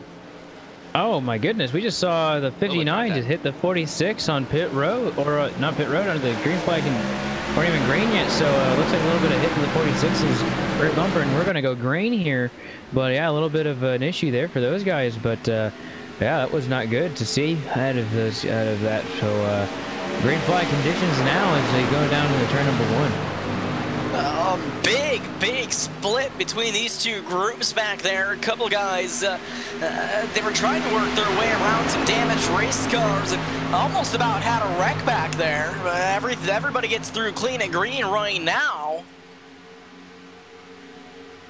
Yeah, for right now, these guys are starting to uh, to to start to sink this single file, but looks like the fight for the lead is still on. Ziki is uh, probably not going to win this one as he's got no help from any from anybody. In the 75 is, I think, back where he wants to be, right in a good shot to have his look at the lead. That's Byron Rodney in the number 75. And he has been up, he has been down, and he is back up to the front, right behind the 60, uh, the 49 of Hunter. Truex has been there basically all day long, and someone, one of these guys are going to try and uh, try and stop that from happening. And number five of Nolan Niemann also there. So this little pack starts to snake out. And Jack Ritchie, he's looking to go the outside. He's going to have some help from the 46 of Jason Martin. This outside has been pretty stellar at times, but we have not seen a battle for the lead on the outside. But this is looking to be perhaps one of them. So the 46 and the 20 and the 72 go to the outside. It's looking pretty good so far. Yeah, absolutely. And now I wanted to make a point of the number 62 of William Van Alstyne uh, he got freight trained on that high side. He got left up to dry, and now he went from the front all the way to the back of this lead pack, and he's going to have to have a lot of fighting to do as well. We have four drivers that have pulled it behind the wall. Nicholas Schmeg and Shane McCurry being the most recent of them all, but still, up front, we have a about an eight-car um, charge right here, and number 72. Oh, he's going to turn him! Five contact, but still able to keep it straight now. Three wide down the backstretch. Oh man, my oh, goodness. Man. That was really, really close between those guys. And yeah, he just ran right in the left rear of right there in the straightaway. And so that'll uh, change this lead picture immensely as the 75 just almost uh, almost crushed it. We might get a replay of that here in a little bit, but we're side by side for the lead. Jason Martin wants a piece out of it once again as he was there not too long ago, went down pit road, and I uh, may have had a chicken sandwich and a drink and went to the restroom before he went back out there to, to kick some butt as he's right back there to the front. Yeah, I'm not really sure how everybody got away with that and managed to save their race cars there, but uh, unbelievable.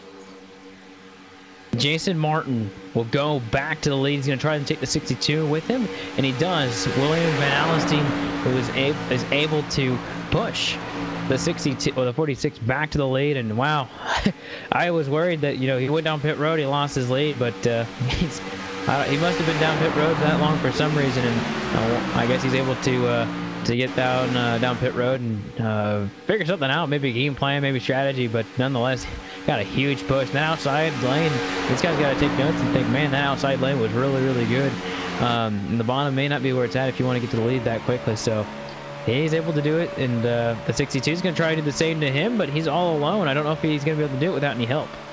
He absolutely will not. You need help to make a draft work or anything to work on a super speedway. You cannot do it by yourself. He's going to get freight train again. You think you would have learned his lesson coming uh, from that first incident that happened on the restart of this, getting freight trained, and now he's freight trained again.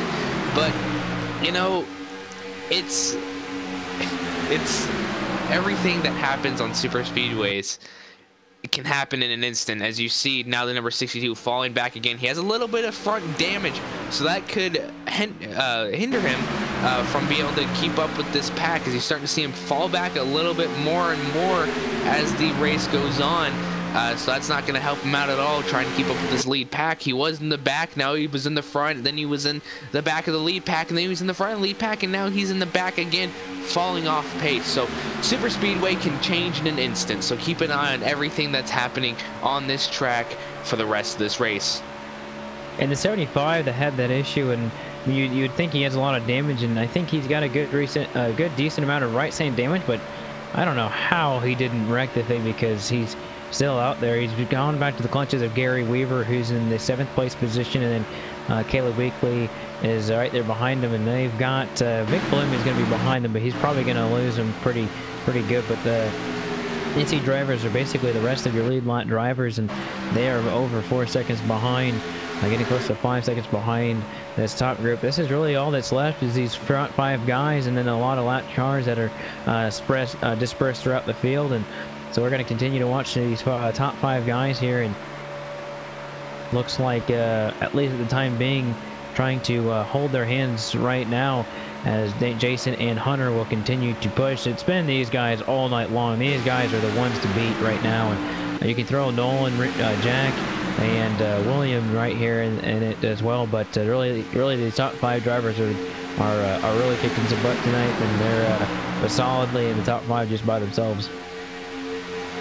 Absolutely, just single file racing up here right now. No moves trying to be made here as we speak. Uh, uh, still not even halfway yet though, guys. Uh, that'll be coming up in uh, about eight laps or so. Uh, but these guys right now just trying to play it safe. The field reduced by car counts greatly right now. But, you know, single file racing all around it looks like.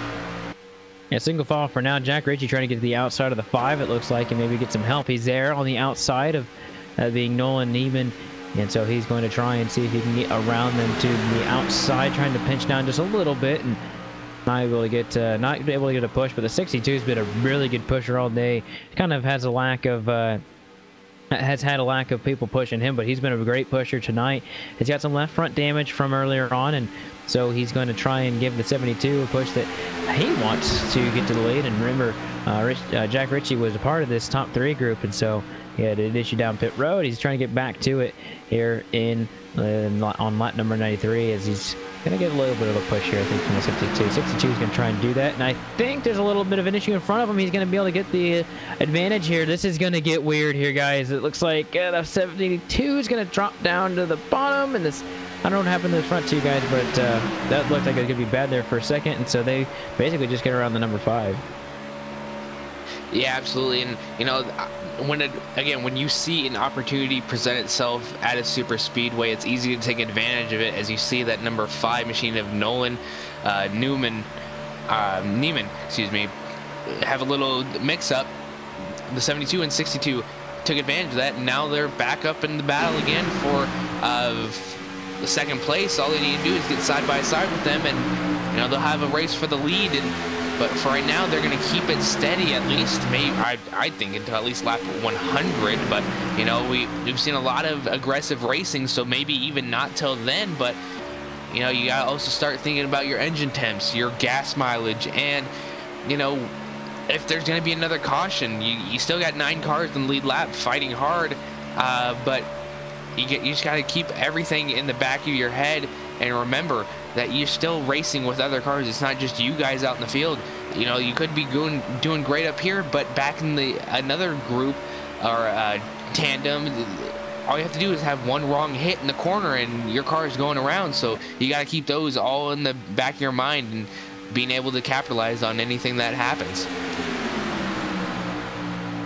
Yeah, definitely. And Jason Martin, uh, really where you want to be in this kind of situation with this kind of racing right now. And uh, these guys trying to, uh, they've been trying to get around him, but uh, they've got to have a big push. And with this uh, few amount of drivers, if you get a push on the outside, there's no one to push on the bottom. It's going to be uh, pretty easy to pass on the outside. But I think right now these guys just trying to, just trying to stay where they are. They've got more than 100 laps to go here in this 500 mile race, and uh, I think that's what they're doing right now is going to be smart. They do have some drivers two by two in front of them. Those are some lap cars, and so just kind of hold your breath right here as they're going to try and navigate through this side. Don't know what's going to happen here, guys.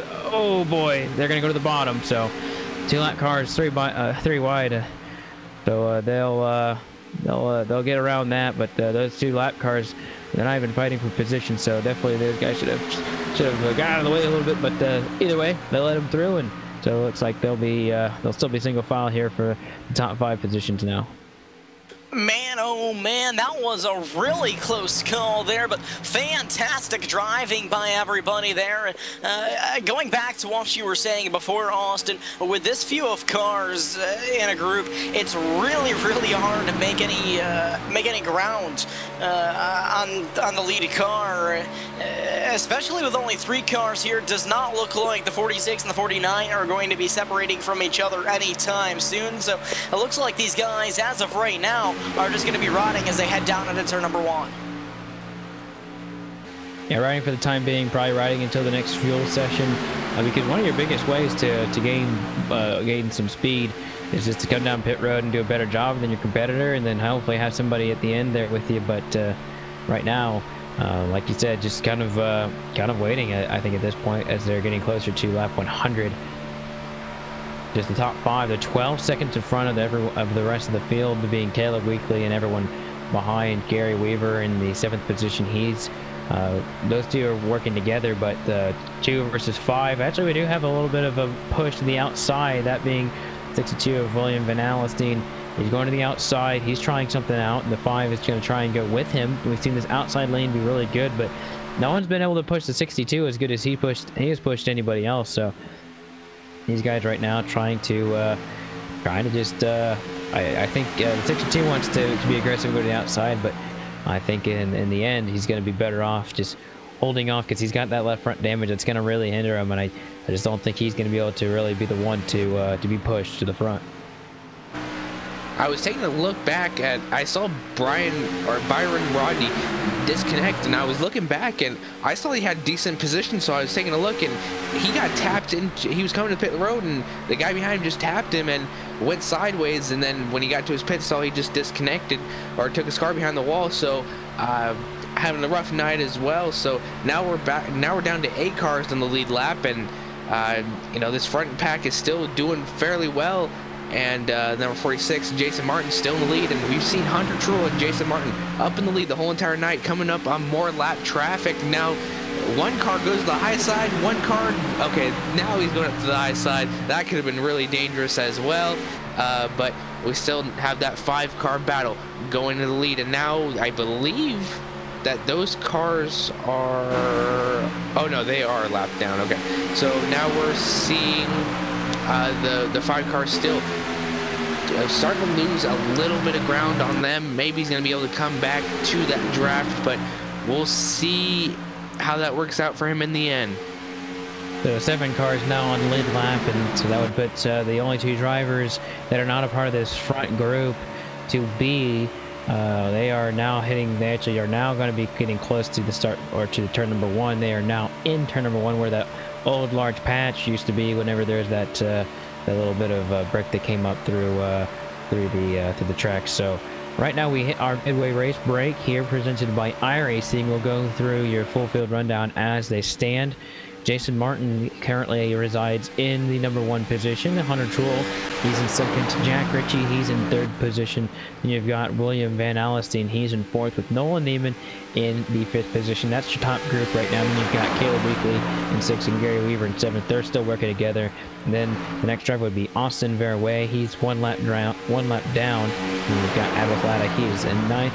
James D. Miller finds himself in the 10th position. And then going to the next few, or the next list of the drivers, you've got Byron Rodney in 11th, Liam Sheen in 12th, Carl Zimmerman in 13th, Mick Bloom in 14th, Jerry Fisher in the 15th position, Dan Oliver in 16th, with Shane McCurry 17th, Nicholas Schmig he finishes tonight in the 18th position, and Kyle Beck and Matthew S. Allen, they'll finish out the field in 19th and 20th. So we'll take a quick break as we cross the halfway. We'll be right back, here on LSR TV.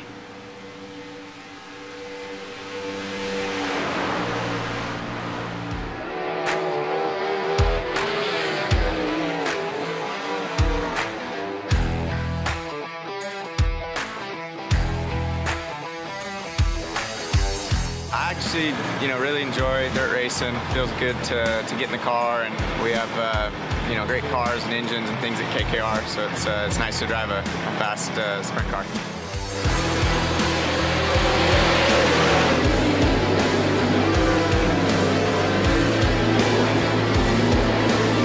Couple separate lines developing. Three wide action on a turn two. Kraig Kinser, Kasey Kahne, and Garrett Pittman going at it.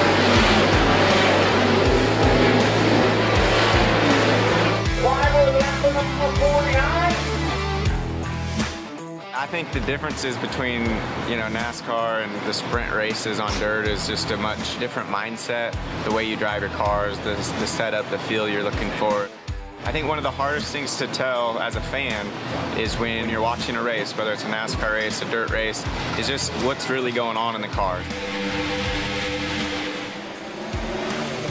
With iRacing, you can get the way that the track's changing, which they've done a great job in how the track changes throughout the night or throughout the race, just to try to capture it and let the fans play it and realize like, man, there's actually a lot going on. And you can't always see that when you watch a race. So I think it's pretty neat. It's, you know, enjoyable for me, but at the end of the day, it's actually much of a simulation and there's a lot of ways that you can learn from that and you know early on it was neat to look at the cup tracks that I was going to places that I had never been so I think it kind of gives you a head start leading into a weekend it's pretty real life and that's pretty neat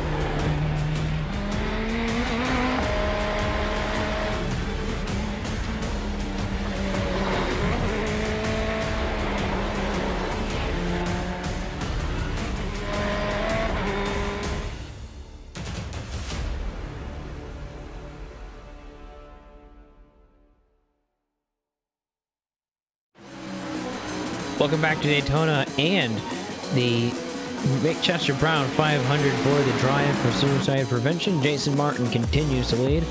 Gary's led quite a few laps tonight. That would be going to lap 52 or 52 laps that he's led as we have crossed over the halfway point in tonight's race. And we do want to uh, do want to give a big shout out to our friends there at uh, G uh, Global. gosh, dang it, I messed it up. Red Bull Global Rally Cross, and uh, we kind of shortchanged it a little bit, but it's a part of our uh, midway race break typically. And uh, if you use the promo code PR-GRC, you can get on iRacing for three months for only five dollars and that's a special promotion that iRacing is doing. Uh, so that's uh, PR-GRC at iRacing.com forward membership. And uh, you can get uh, the 07 version of Daytona and a lot of other cars. So the action we're seeing tonight, you can get a very similar experience, and you can also get a lot of uh, tracks. You can get a lot of cars. Uh, we used to use, we used to have a little saying of 11 cars and six tracks, or sorry, other way around, 11 yeah, 11 tracks and 6 cars, but that's no longer the case. So we are going to start looking here towards the front, though. Looks like the 62 has got under the 72, but I think we're starting to see some teamwork. Look at this. Those guys start going to the top to help out the 72, and William Van Alstyne looks like he's not being helped in any sort of way. And yeah, this is uh, this is kind of a teamwork teamwork deal right here. You saw that these guys are trying to help the 72 get some momentum here on the top side, and they're not helping the 62 out any. Yeah, absolutely. And now you see just that little side-by-side -side action. Oh, contact! But oh my goodness gracious. Coming to the tri-oval, that is always the most dangerous part of, of this track. And, you know, you, you're trying to, you're trying to keep it straight, but, you know, you got that little turn to do, and when you get tight, it just gets so close and you nearly have a little bit of contact as the 72 is going to dive it down, down, dive it back up and try to juke out that number 62 but now he's in a roadblock and the 46 and 62 are going to take those top spots away. I'm really unsure what they were trying to do because the 62 pushed the the uh, 46 to the lead and uh, then they uh, they kind of left him out the dry right there. They're definitely uh, trying to make sure that he was not uh, not falling with them. So they went to the top side. So William was like, "All right, I'm going to go to the bottom side." And uh, going to the bottom side and just just take the shorter route. I mean, it's much better down there, even even in this the type of racing. I mean, there's not that much. That, I mean, there's only four drivers here in this top pack, and they aren't. There's not that much drafting and not much pushing. So 62 is going to look to the outside just a little bit. And remember, the 46 has a little bit of damage on the rear end because of what happened on that last restart. So that could be a small parachute that the 62 has to, to go to the outside. So he's trying to look for an opportunity maybe to go to the lead here pretty soon heading down the Daytona Tri-Oval now 49 looking to the outside of the 62 machine now with help from the 72 these guys may be planning to go two by two only a group of four cars here but uh, it looks like they may plan to get a little bit racy here guys yeah, definitely getting racy. The 49 wants to go to the outside and try and get by both of them. He's led tonight uh, for a while. The 62 has not led at all. At all.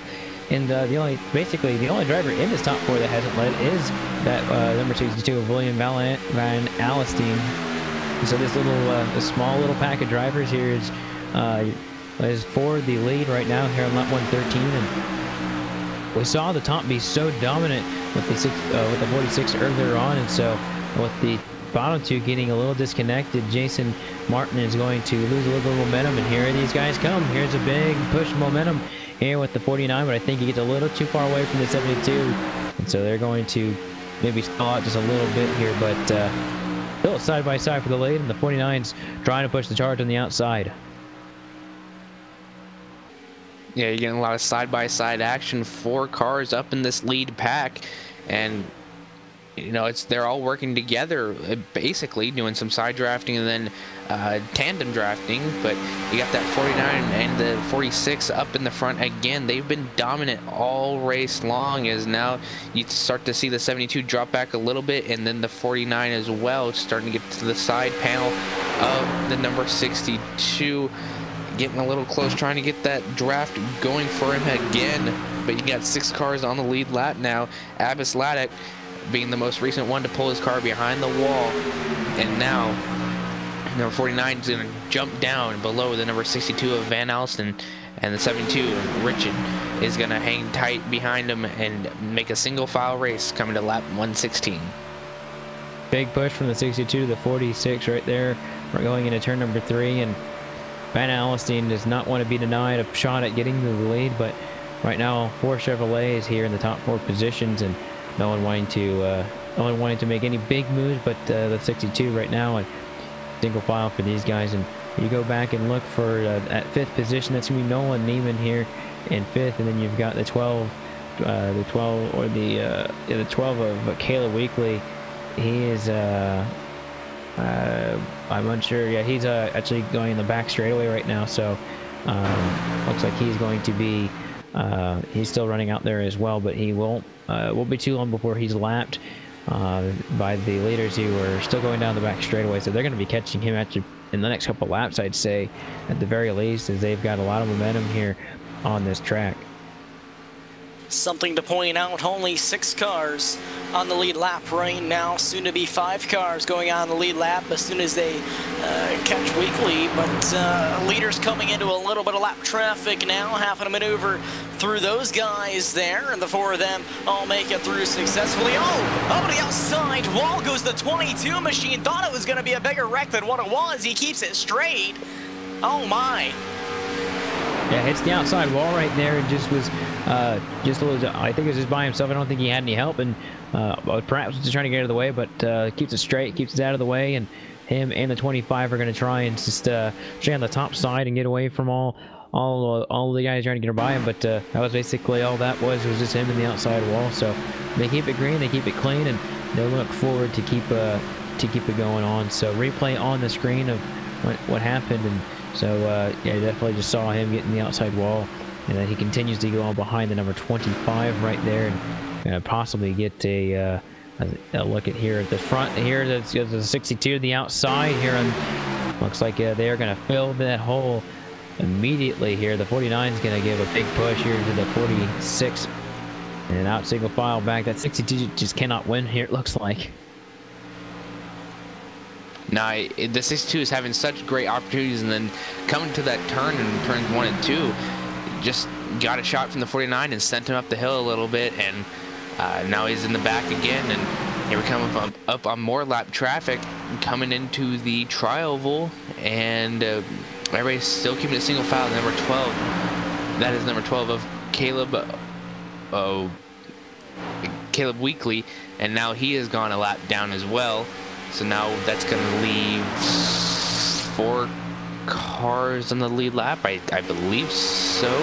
Your top five right now is your top five, but one car is just a lap down now, and that's going to be Caleb Weekly. So uh, these four drivers are the drivers that are on lead lap. So um, they're still coupled together. So uh, right there on your screen, you can see uh, the one, two, three, four, five as they are right now. And so um, the 46 of Jason Martin leads the pack, and here comes the 49 trying to get some momentum to the outside, and he gets a little bit there, and he's right there on the bumper. And there goes the number, I think that's the number 12 going down pit road. Unsure if it's for service or an unscheduled pit stop or what, but he's coming down pit road. We'll have to see what's going on with him. So, four cars out front of this thing right now, guys. Uh, uh, we've seen them get a little bit racy every once in a while, but uh, looks like right now these guys just trying to ride it out. Only on lap 120 right now, and uh, still quite a distance to go in this race. Yeah, a, a, little over 200 laps to go, but they are all coming down pit road, and I don't think they're all going to make it. They oh, each contact. other. Oh, and they didn't all make it. Oh, no. Oh, they're wrecking on pit oh, road now. no. 62 the 62. Yeah, the 62 hits the wall, and the 64 has more rear end damage, and uh, somebody didn't make it in into the uh, into pit road correctly. I don't know who that was, but uh, we'll get a couple replays maybe of what happened. So these nine guys, and the 72 goes through his pit stall. So uh, add insult to injury. So we're seeing it on your screen out right now. They basically go four wide in the pit road. You just can't do that. And so uh, the 62 gets speeding penalty. It's a speeding penalty. The 72 uh, then hits the 64 on the on the way in, and he's gonna have a he's gonna have at least two penalties. So they come off pit road. The 64 is the first driver. He's gonna be your leader coming off pit road, and so uh, then the 49 comes shortly after. And if you're into these guys that are still out there, the one thing you need to do is find a partner because there's uh, that's the only way you're going to go faster here in this race. Yeah, absolutely. And the number 72 pulling into his pit stall with this new model that they have, you can make with the uh, crews that you have now actually working on your car, you have to line up a certain way. So it takes the number 72 machine of Jack Ritchie uh, to take a few times to line it up. Uh, as you see him just pulling in, pulling out, and then uh, finding a different way to get into his pit stall. Uh, he finally gets it, but that's just going to cost him a lot of time, especially after what happened. It'll be shortly before we see where everyone kind of lines up, of course. Uh, Jason Martin, of course, being your leader uh, as he continues to uh, stroll around uh, by himself. And it looks like it's going to be about 9.4 seconds over the next driver, which is Hunter Truex. It's quite a ways away. And then you've got uh, the number 72 of Jack Ritchie, who is uh, not across the start finish line, but he's 24 seconds behind. And you've got Van Alstyne, who is over 33 seconds behind. So this front group that was oh so close is now really far apart. Uh, and these guys need to find a lap car. That's what they've got to do. They've got to find a lap car. They've got to work with them.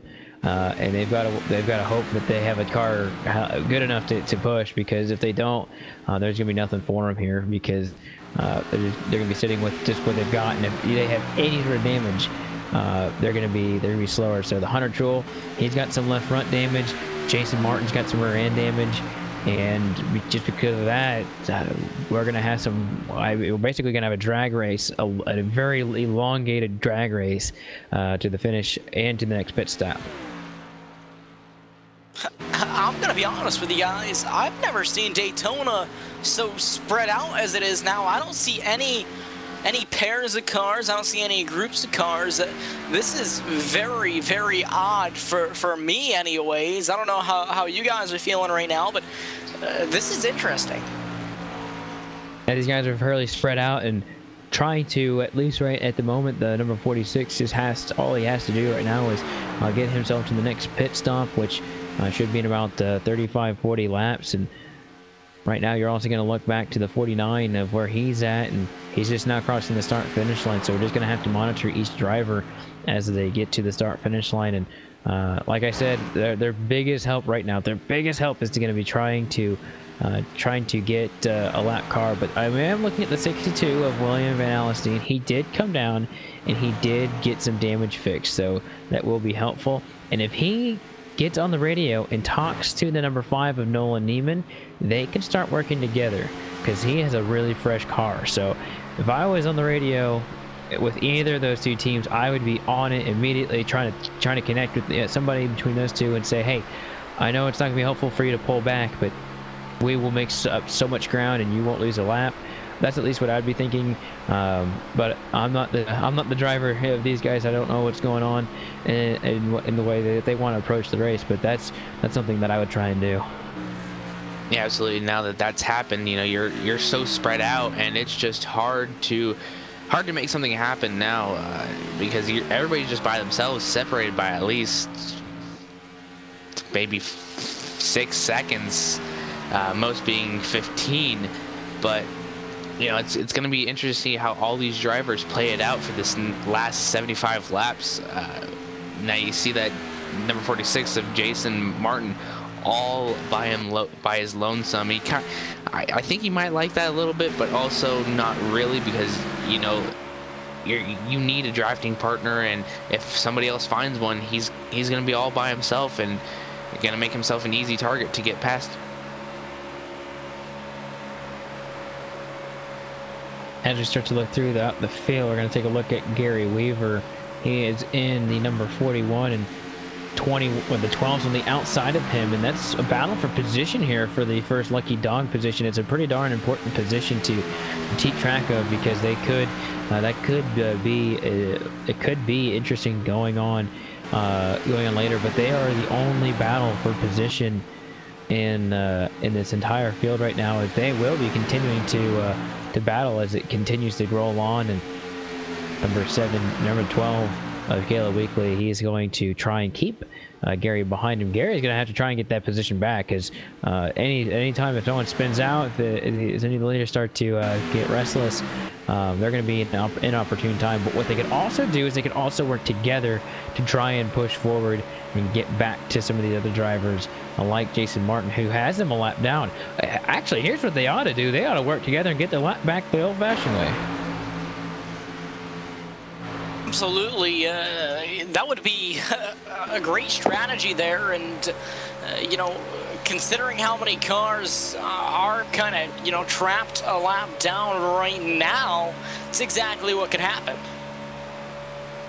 Also watching Jack Ritchie and Hunter Truex working together finally 22 seconds behind Jason Martin. That's that's a long, long way to go, but they are working together. There's a lot of what there's there's nobody really in front of these guys, but they are going to be able to uh, stay where they're at. Hopefully, be able to push each other and get back to Jason Martin. And Martin doesn't want any of that to happen, but he's really at the mercy of tw 22 second lead, which is an enormous lead. But Martin's really had a a pretty good race so far today, and um, the only bad thing that's really happened to him is he got some rear end damage uh, on the restart, and he has a little bit of right side damage, just a tiny bit. But these guys, I, I mean, it's going to be a long time before it happens, but they should surely catch him as these runs go on. And the guys behind him, uh, this number 12 and the number 41, they should be able to catch the number 12 too.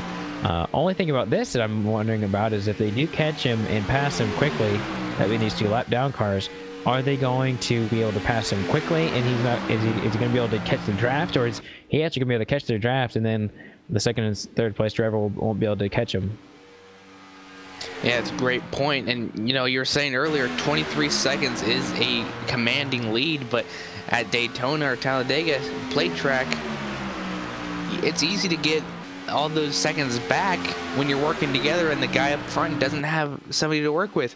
And especially with 70 laps to go, um, you know, you can close in quickly as you see, as you saw the times drop down from 23 to 21. So, you know, you're, you're having a lot of catching up to do, but still catching up uh, ever so slightly as now the 46 so working with those two cars. But we'll see how this all works out because uh, you know, more cars is more speed in, in drafting, so we'll have to see how that works out for them in the end. Yeah, it's starting to get the draft of these guys, and I think this will be a set and done deal if he is able to do that. So now we have seven cars on the lead lap with the 12 and the 41 unlapping themselves the old-fashioned way, and uh, looks like the 41's trying to go on the outside, almost hooks the 12 right there. Gotta give, give him give him grief if he does that for sure, because he uh, definitely uh, has saddled, has been a friend of ours for a little bit, but uh, going around some light traffic right now, and it looks like he's going to try and split them, and goodness, Gary almost took out the 12 right there. That was a close one. Yeah, close one indeed, and, uh, you know, with how spread out these guys were, it's something you wouldn't have really expected to see, but uh, the gap just kind of closed up there, and uh, close call for, for Gary Weaver, but he makes it through, everybody makes it through, everybody uh, still going forward here, so uh, we keep it clean and green as uh, those cars heading down to the tri-oval now. As we hit what, 132, we at LSR TV will take a step aside for the moment. We'll take a quick break and we'll be right back in just a moment.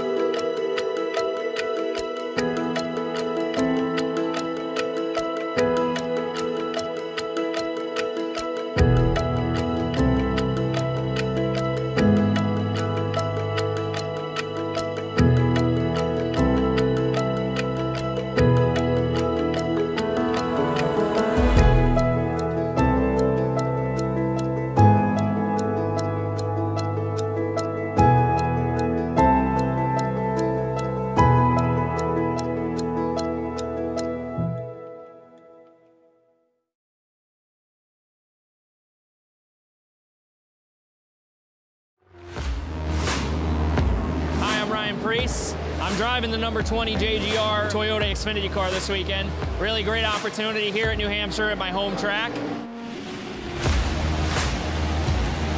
Over the past few weeks, I've been on iRacing, practicing a little bit here and there with the modified and the uh, NASCAR Xfinity car. So it's been a lot of fun. It's been a great tool for me to, to kind of get used to that stock car body again and uh, be prepared for the race today. Well, yeah, it's it's a mile long, so um, the draft kind of plays into effect here with the modifieds. Punches a big hole in the air, uh, and we run restrictor plates, so uh, it makes a big difference. Um, just really fast, and, and, and it's our Daytona, so that's what's great about it. And uh, we have a fast car for tomorrow.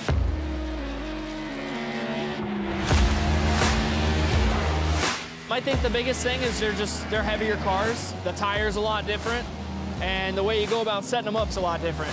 They use all four tires more than a modified where we typically drive off the right rear, you know, so. Well, actually, it's funny. Uh, I raced NASCAR race in 2003 before iRacing came about. And then when iRacing came about, uh, my friend Kevin Iannarelli, who works at iRacing, kind of told me, hey man, you need to switch over to this. And, and when I did, I was like, oh my God, this is like real life. Uh, so I started using it as a tool of mine to to really prepare for, for modified races, whether it was Stafford or Thompson or Loudon, uh, Bristol, and then obviously the Xfinity Series last year, going to road courses, trying to get laps, and, and use it as a tool that can get me as prepared as I could be without actually doing it. So it's been great.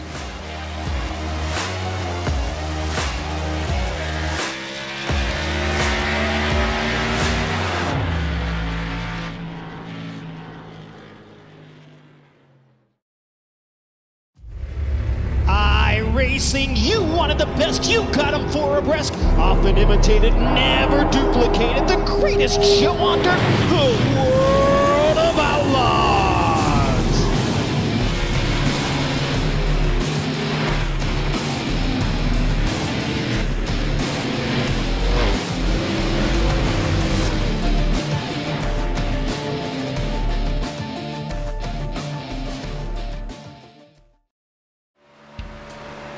Welcome back to LSR TV's coverage of the Make Proud 500 for the drive for suicide prevention. And Jason Martin continues to lead, but it's a little bit different of a look up here as we have some lap traffic coming up to uh, up through these guys. You're seeing the number five lead this group of drivers, and he is in the fourth position.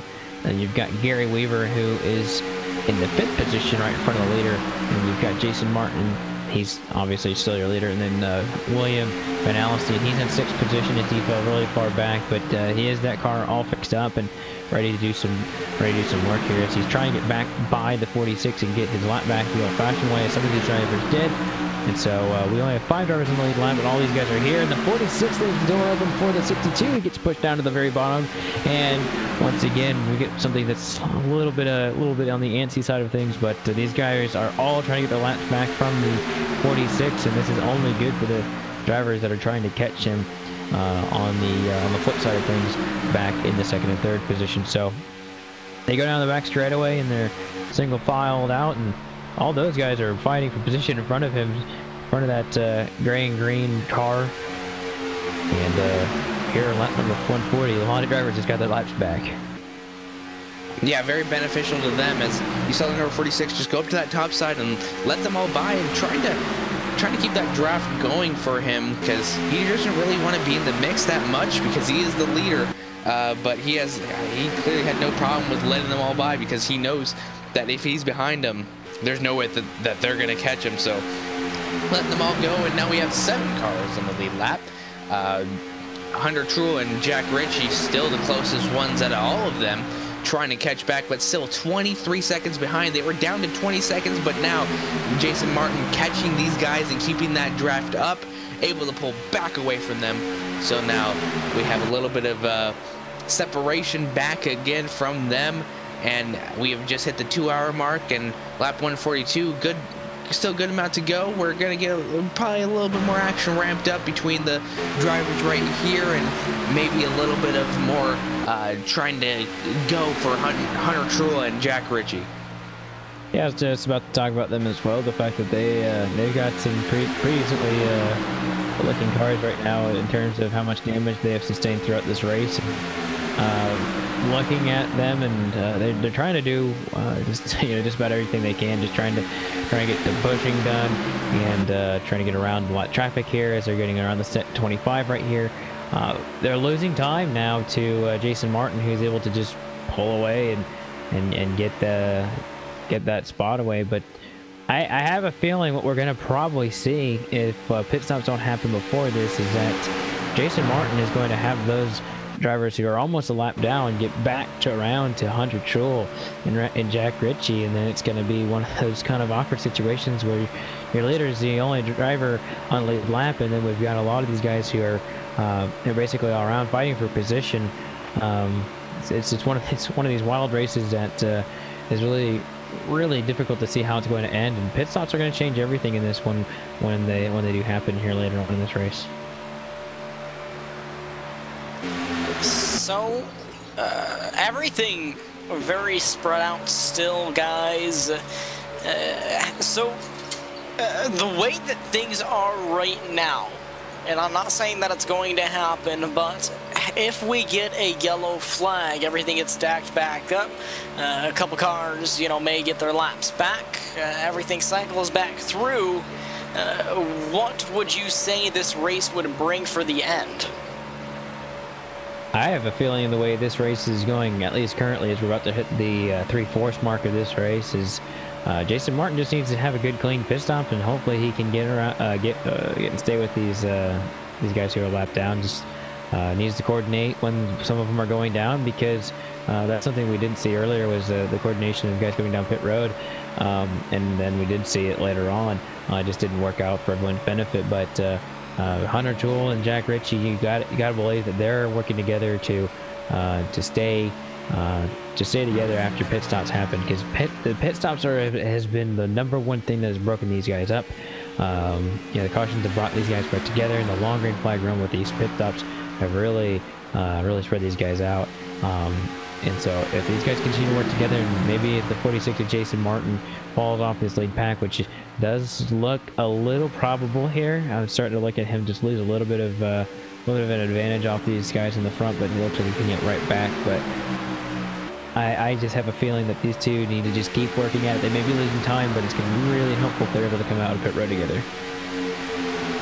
Yeah, that's the that's the struggle or the uh, the risk that you have taking uh, just letting all those drivers by. You know, you could easily lose that draft as he goes below the yellow line for a split second, uh, trying to trying to keep with that number 12, but you know, it could be quite easy for him to lose that draft as now you see the 46 catch back up to them. But, uh, you know, if we do have another caution, stacks everybody back up. Uh, Jason Martin and Hunter Truex have been the dominant cars thus far.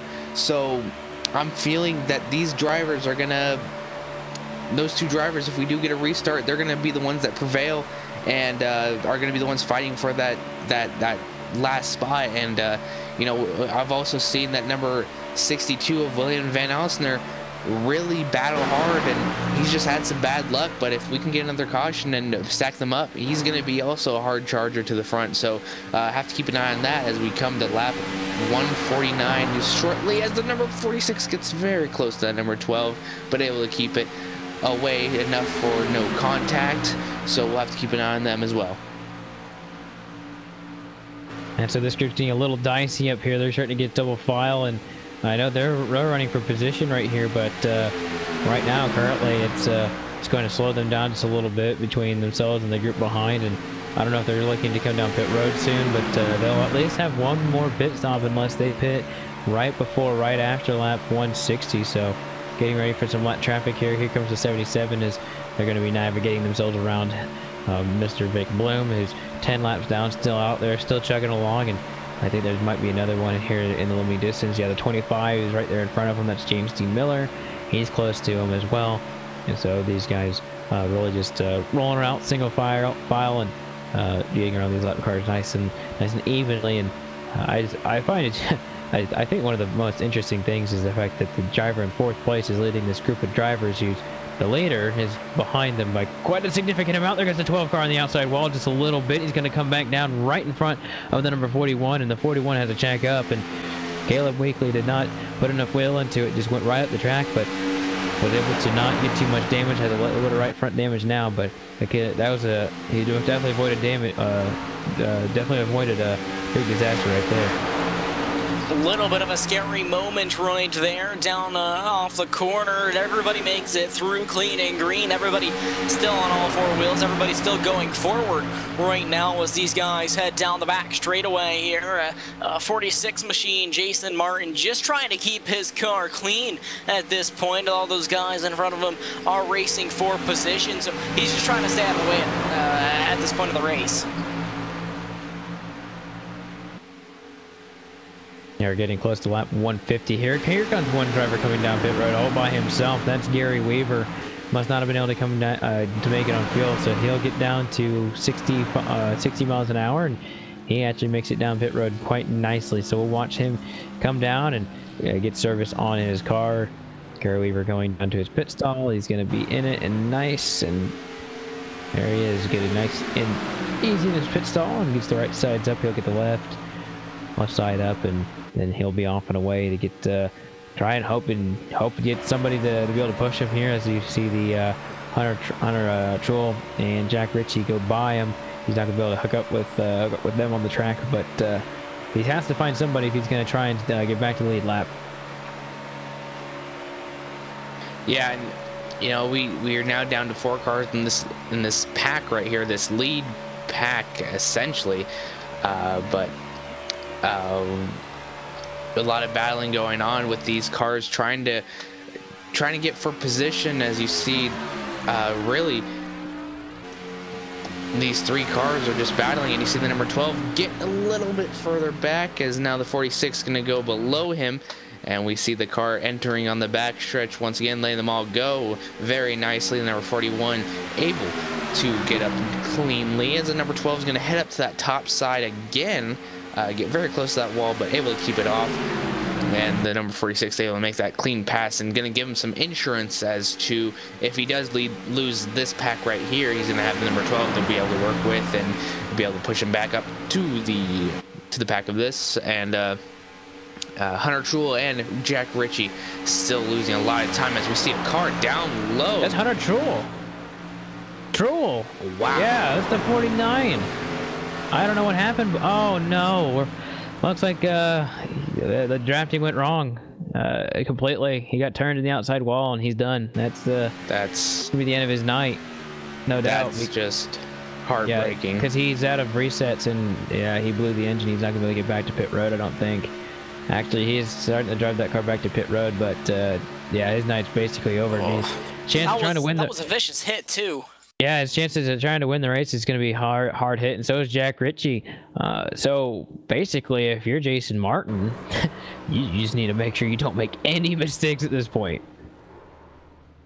Yeah, he's got a huge lead over the field now, and uh, uh, we saw second place just rack out there. Now, uh, Jason Martin right now just kind of hanging in the draft with a couple lap cars. He's heading down the back straightaway into turn three uh, at the moment. Uh, a little bit of help from the 62 and the 5 machines now. And uh, it looks like as long as he can hang back there, he should be okay. Yeah, he has to hope that these two in front of him don't have a similar issue too, because those guys behind him, they're trying so hard to to get up to them and try and try and just have a shot at winning this race. And uh, he's not going to have a chance to do that, uh, which is a really, really big shame for Hunter Truex, who now finds himself outside the top five in sixth place position. Gary Weaver finds himself two laps down, but he'll be able to pat, pass him. And then uh, there's a lot of lap, uh, lap down cars that'll also benefit from that as well. So right now, it is the it is in the best interest for these guys to stay single file until pit stops and, and just try and find somebody to uh, somebody to hang with because there's not many guys out there. But there goes the number five of Caleb Weekly or uh, of Nolan Neiman. He's going to come down. He slides in, but he's able to make it in time and under speed. So he'll come down from fifth place position, and how he is going to make the long trek down pit road. Remember, these guys are now. I mean, yeah, they're not in the lead and they may be a lap down, but some of these guys still fighting for position as he, number five Nolan Neiman actually goes to his pit box and has to readjust a couple times. Actually, he's still not in his back box. He's still flying, flying going through and finally gets to uh, the point where he's in his box and he's going to get some service, I think. The right sides aren't going up, but uh, he's still there. I, I, don't know if he's got a service quite yet, but I don't see the right or left sides going up at any time right now. So uh, I think he's, I think he must have or something. I didn't see them go up, but uh, nonetheless, looking at your leader and the third place driver here, uh, William Van, uh, Van Alstyne, still in third place and right in front of leader. It's one of those odd things that we've been talking about in this race. Yeah, now we have three cars on lead lead lap as number 62 is leading, you know, quote unquote leading this uh, front pack and uh, number 46 right behind him. And that's the driver the number 62 machine is the driver that hasn't had much luck but his car is bad fast. So uh, you know it's just a combination of uh, being at the wrong place wrong time and you know just being having bad luck, and now he's coming down pit road right now. We have to take a look at him, see if he makes it in there. Cleanly as he's sliding them as well, but makes it as number 12 follows. And that leaves Jason Martin all by him by his lonesome, but Jack Ritchie is also all by him lonesome, close to 40 seconds back, and uh, this is all that's left. Yeah, watching these guys come down pit road and 46 of Jason Martin comes down, uh, stays out by himself, and so what that will do is that is going to put him in turns number three, and then that's going to have Jack Ritchie be going out of turn four. And it's kind of a question of when these guys come down pit road and if they're making mistakes. If there's no mistakes by any of these guys, they basically finish where they're at. Um, and then we've got to uh, we've got to kind of see where everyone else is going to finish as well. But uh, permitting no mistakes on pit road by some of these guys are going to be uh, finishing exactly where they are, or if they they start to work together. I mean, uh, there's a lot of drivers still out here that are on the lead lap, but uh, could get some entertainment by uh, working with one of these lead lap drivers and uh, starting to help them out. So. looking at number 41 being one of those drivers of that being Gary Weaver, he's actually going to be pushing the 25 here. That's James D. Miller. He's uh, he's at least getting himself a little bit more momentum. He's helping at the 25, and so they're not doing a whole lot to. Uh, they're not going to be really advancing the position a whole lot, but they're at least uh, at least helping each other a little bit. And Caleb Weekly right here, he's behind William right now in the 62, and uh, those guys are uh, are fighting for position really. So it is the uh, more anticipated looking battle on the track, but realistically, they're going to be trying doing the same thing as Jack, Ritchie, and Hunter and Truex were trying to do earlier and just try and go faster each lap than your leader, which is uh, Jason Martin. If they can pull away and they can start maybe finding some guys to, to work with, uh, they might be able to they might be able to figure something out, get themselves uh, get themselves away, but they're still a lap down. Yeah, absolutely, and uh, you know, with two cars in the lead lap, it's just going to be hard to, you know, have these other cars uh, catch up to them and get back in the lead lap, but it's still possible because the 62 and the 12 are the only cars one lap down they're working together and they can easily catch back up to Jason Martin and get their lap back. So uh, we'll we'll see how that works out for them. They were able to do it once before and now they're I'm sure they're gonna be able to do it again. So uh, yeah we'll, we'll see how that goes Jason Martin comes down pit road, possibly for the final time tonight, as he probably will be able to make it the rest of the way on fuel. So he comes down and gets nicely, nicely in his pit box, and we'll get some service here. The right sides are jacked up, and then the left sides will, will be the same, and uh, he will be getting out. And there's uh, no one really behind him. There's a 22 uh, who's uh, who's still out there. I think you might be able to work with with him. And then Liam Sheen is actually coming down pit road as well, number 59. He is in 10th position right now. Here comes Jack Ritchie. He comes from second place position as well. This could be this could be dire for him to get a really good pit stop as Jason's already off and away down in turn number one and two. So Jason Martin going to be riding all by himself as he has been for the last couple laps now. And uh, I feel like your second place driver, uh, Jack Ritchie as well, will be all by him, uh, all by himself here. Uh, first and second place just kind of out on uh, a Sunday night drive currently. But, uh, you know, it is what it is. And I'm sure right now Jason Martin isn't really complaining. Oh yeah, definitely. Just because of uh, the situation he's in, he doesn't really have anything to uh, to really worry about. But uh, as we are hitting lap six, 161, lap 162 here as Jason crosses the start finish line, we will take a moment and step aside here on LSR TV. You've been watching the coverage of the Make Chester Proud 500 with the Drive for Suicide Prevention. We'll be right back.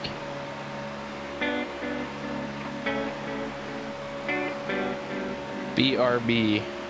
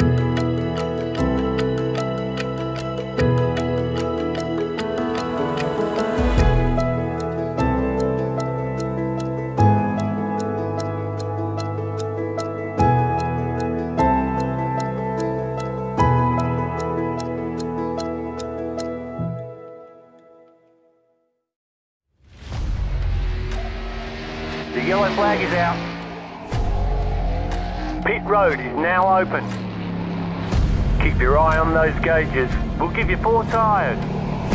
Three, two, one, now.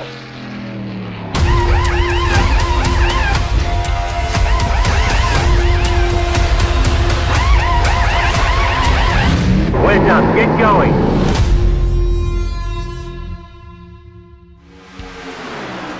Welcome back to LSR TV's coverage of the Make Chester Proud 500 for the drive for suicide prevention. And we're seeing a little bit of a mix up here at the front of the field. It's William Van Alstyne at the front of this group, but he's not the leader. He's actually in second place. The leader is actually right behind him.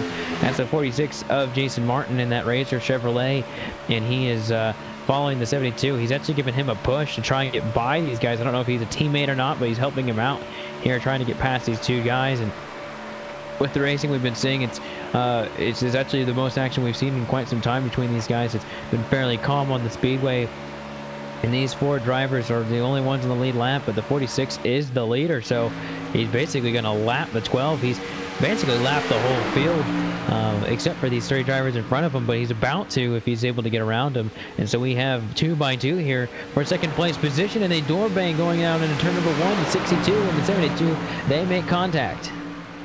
Yeah, getting really close up in turns one and two. 72 just trying to get that side draft, but got a little bit too close to the number 62.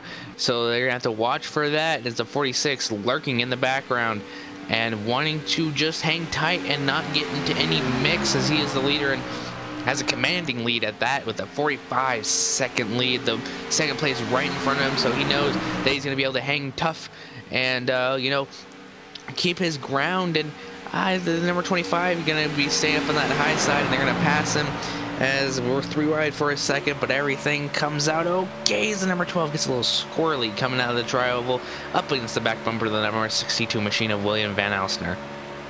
46 of Jason Martin just needs to just to play it cool right here, and I think we've said that a couple times, but I'm gonna really stress it right now because with about 30 laps to go, I don't know if he has a reset or not. I don't remember if he had used it, but uh, if anything is to happen with any of these guys up front, and one of them makes it out, and then he gets involved with it, well, that's a that's a win that just kind of goes away at that point. So just about to the 30 to 30 laps to go mark, and this is about the, uh, the distance you would have seen earlier on in the uh, peak race. So the uh, Jason Martin machine is trying to uh, lead the most laps and win this race. He has led over 100 laps. He's at 112 laps this time by. It's quite a few laps. And so you're riding on board and seeing basically all the action in front of him. You're seeing this lap, car, uh, lap car, that's going to be the 59, who had gotten the wall really hard earlier on and is still somehow uh, making some laps out of this one. And uh, seeing his point of view of uh, basically the lead right now. And so uh, right now it's I, I, think that most of these drivers don't have the pit, and so you can see that 72 trying to go to the outside of the 12 right there, and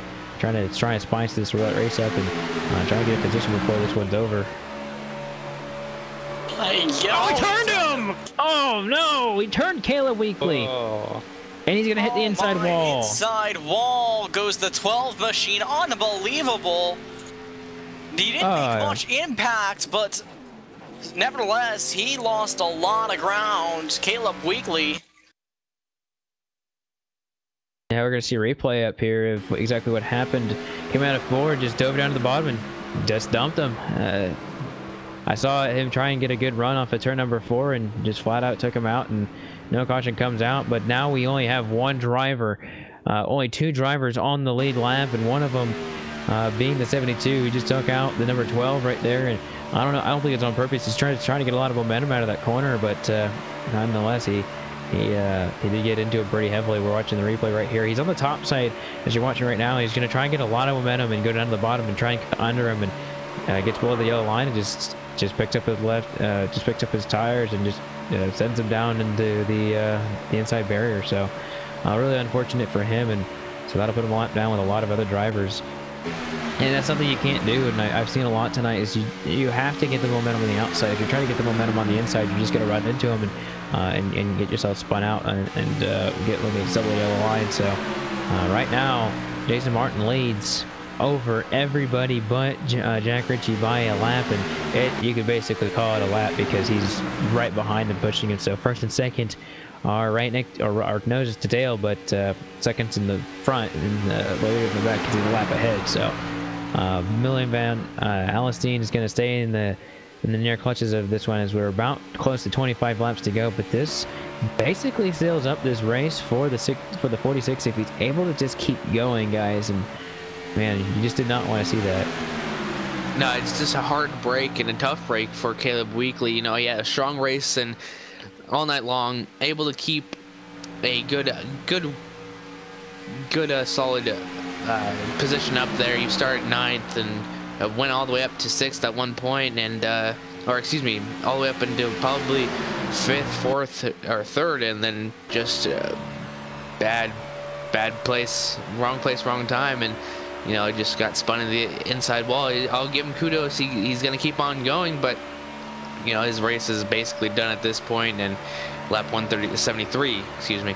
Uh, it's it's not looking good. Not looking good for him, but like we said earlier, the one driver that is going to be having a party after this one is definitely uh, is definitely Jason right there. And something I something I was also going to say is that uh, another little oddity is that the 62 with William Al Van Alstyne is in third place behind the leader. Uh, this this this top three is in a wacky order because one driver's a lap down, the other driver is not, and the leader's in between them. Um, the only time you would normally see this is at a road course or uh, in the middle of pit stops uh, during uh, during a short track or something like that. But uh, Daytona, we're seeing these guys single filed out with 26 laps to go and trying to figure out a way for uh, any of these guys to get an advantage. It's really just a waiting game for these guys and hoping that they don't have any uh, any near misses or, or any big issues between now and the end of the race. And uh, I mean, if the 62 wants to start fighting with the 72, he's going to have to try. But we saw that happen earlier. The 62 tried to pass, and uh, these guys really uh, really didn't want him up there for some reason. So currently, as it stands, the 46 is just in a good position, just can't make any mistakes. Now they can 72. They've got 25 laps to go when they hit the start-finish line, and uh, one eighth till the end of this race. And at this point in the race, and we said it earlier as well, uh, and I think it's a good time to give a good big shout out to our friends at Joel Real Timing. Uh, because coverage of all LSR TV broadcasts is brought to you by Joel Real Timing.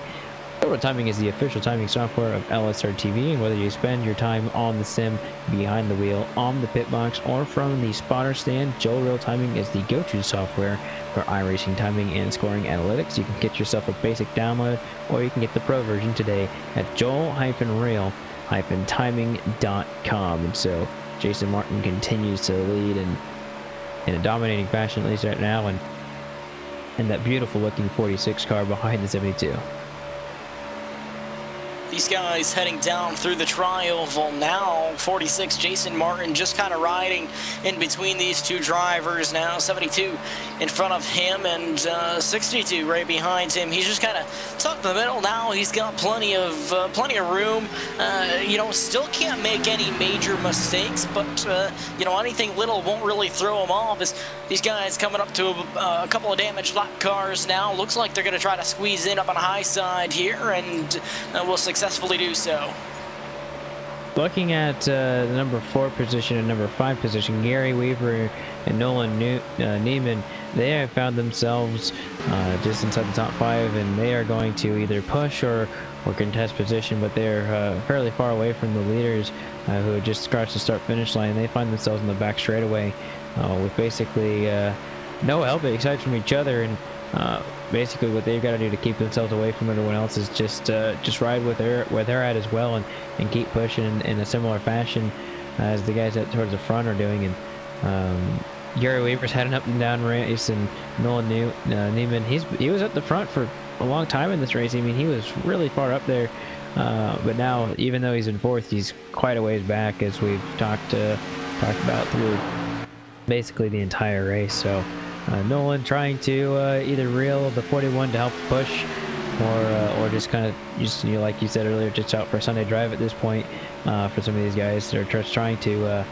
trying to get to the end of this one not make any mistakes as they are a lap down and 59 of William Sheen. He's still out there trying to uh, lock some laps. And Caleb Weekly we saw him get spun off of turn number four. He is in the sixth position still although it would be a lot to take him away from that because he would have to be seven more laps down in order to do that but uh, looks like the late pack is to get him.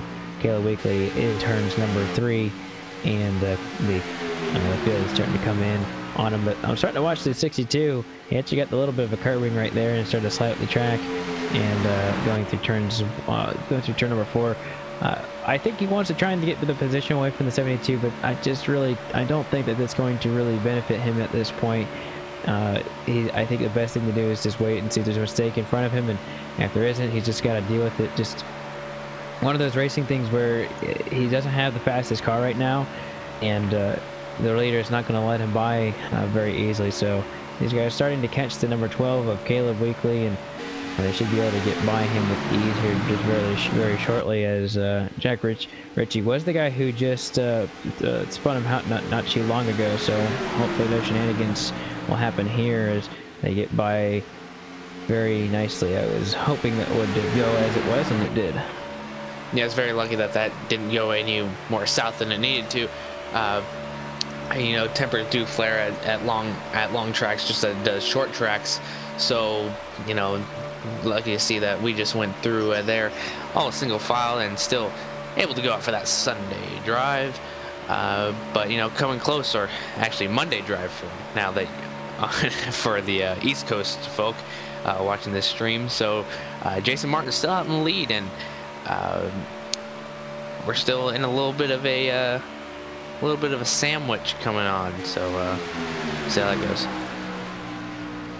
Well, at this point in the race, we have caught up with the number 49 of Hunter Truex and we'll uh, we'll get a talk with him. Hunter, you were involved in that accident earlier with the 72. You guys were looked like you were drafting partners there for a while. It just went south. Uh, kind of talked about what happened there. Uh, yeah, we were working, me, Jack, and uh, working together uh, for most of the race there. And lucky pit stop, Jack got separated. I figured I'd wait up for him and got to draft him. And those things happen when you're drafting at those speeds. And now, you were having yourself actually quite a good race. You had led a lot of laps, and as we see, uh, something happened with some of the leaders right here.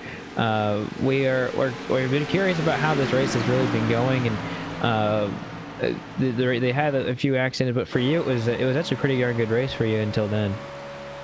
Yeah, absolutely. I was running good. I was staying out of the wrecks, which was one of the main priorities. Um, most of the race I just was working with Jack and working with Jason. We were just really just trying to make it to the end. Uh, hope to fight each other at the end of the race, but it was great racing uh, while I was in there. Well, we thank you for uh, giving us some of your time, uh, even though you are out of this race and don't have a bid for winning this race. But uh, I have seen a, we have seen a little bit of a development with the lead pack. It looks like Jason Martin has lost uh, lost his grip on keeping William Van Alstyne a lap down, and they might work together for the next 20 laps to try and catch him. So we'll uh, we'll talk to you uh, perhaps soon in the future, and uh, well, good luck on your uh, races in the future. I appreciate it, guys. Have a good one. All right, there you have it, driver of the number 49 machine, and this is an interesting development here, guys, because uh, I don't think they have enough time to to to get away from from Jason, but they are going to be uh, they are going to be working together quite nicely, I'd say. Uh, and might, they might try and, and, and do it. Uh, if they could get around the track and get away from the 46, uh, they are the two, uh, other than him, they are the two cleanest cars on the track. They need to break the draft and 15 laps, 45 seconds. I don't think it's possible, but uh, I think they'll at least give it a shot here. Yeah, yeah. Unfortunately, at this point, Austin, I, I think it's a little bit too late for them to be breaking away like that. Uh, yeah, like you said, uh, with the amount of laps that these guys have left, uh, the time that they'll make around the racetrack, uh, I don't think they'll get there, but uh, they will definitely pull away quite a bit. The last time by, they were quite even, and with uh, 16 laps to go, it kind of leads us to think of what could happen happen if that had happened earlier. The next driver on the track in front of the 72 of Rich, uh, or sorry, Jack Ritchie, is just now hitting the start finish line. So there is no one to work with really for these guys as you see the 62 go up and down the track a couple times. And I don't know if he's trying to get momentum uh, or, or, or, or whatnot, but uh, right now he needs to uh, really just try and get as close to the bumper as possible and really do some big, big pushes. Otherwise, the 64 is going to get right back in the picture, and uh, they're not going to be fast. They're going to be slower. And actually, in fact, uh, both drivers were slower. As the 62 almost turns to 72 right there. I'm, I'm not sure what they're doing. If they're going to try and break away, that's not the way to do it. And so the 62 is going for position at this point, and they're going around the bottom. So uh, he wants one more position before this one's over. So side by side for second place. Yeah, absolutely. Going down the backstretch, close to uh, quarter panel, quarter panel, and uh, very closely uh, uh, gets together as the 46 going to catch back up to them, and now, uh, you know, you you're just logging laps at this point, but you know, you also have that statement in the back of your mind. You know, you want to you want to get back, you know, to the back bumper of the number 72 machine and you know you want that position as well but you also need to finish this race so maybe just hold on a little bit longer and uh, you know you'll have that position uh, but you know we're just going to have to watch out and uh, See how this race works out for this number 62 of William Van Alstyne that has had a strong car, but just terrible luck. For the time being, these two guys, Jack Ritchie and William Van Alstyne, uh, they had their chance, I think, to push away, but uh, right now they're going to the top side, which is not something I was expecting, at least at the moment. And so uh, 72 is going to stay there, and I think if the 62 goes to the bottom, I think he'll have a chance at least, uh, yeah, to actually passing him. I, that's the shorter route to go, and he's showing it now, but he needs to show it on the entrance of the corner. Yeah, right here is the, is the place you need to do it, and it may not have the momentum, and he needs to he needs to stick with one line going up and down the track he's only going to be slower in the track. So the 46 is kind of just, I think he's laying off quite a bit, just uh, just staying there, just uh, knowing he just has to put just more, a few more laps into this one, and he should be fine. Um, but these two, uh, I think they're still trying to fight for position, and the 62 is going to try and get an advantage on the bottom, but 72 has got a lot of momentum on the top, but uh, getting off the close the outside wall as well. Yeah, those guys moved up to the upper groove around here at Daytona. And, you know, earlier, I think I jumped the gun when I said that those guys would pull away by quite a bit because uh, the 46 machine of Jason Martin, he's caught back up to those guys. Still kind of in the draft there. They moved up to the high line, started to get a little bit racy there. And he had the opportunity to catch back up. Not for position. Uh, Jason Martin still holds the lead here, but those two drivers up ahead of them are fighting for position. Just over 10 laps to go here in this one, and it's basically just the battle for uh, for second place right now as these guys are going through turns uh, three and four. We got a nice view from that uh, number 46 machine just now and showed that uh, basically where these guys were gaining and losing uh, losing time. So you know, we can't be counting the uh, the laps from the drivers that are crossing the line before the 46. Uh, basically, when the 46 crosses the start-finish line the last time around, the guys in front of them will be uh, the guys in front of them will still be competing for for that uh, position. So it'll be fun to see. The 12 hits the outside wall. He's going to hit it again. He's going to hit the 62. Oh, He's no! going to spin out right the in the. leader. the leader's involved. Oh my Jason goodness. Martin. No oh my way. goodness. Well, I don't think this one could happen in any sort of way, guys, but uh, that just happened.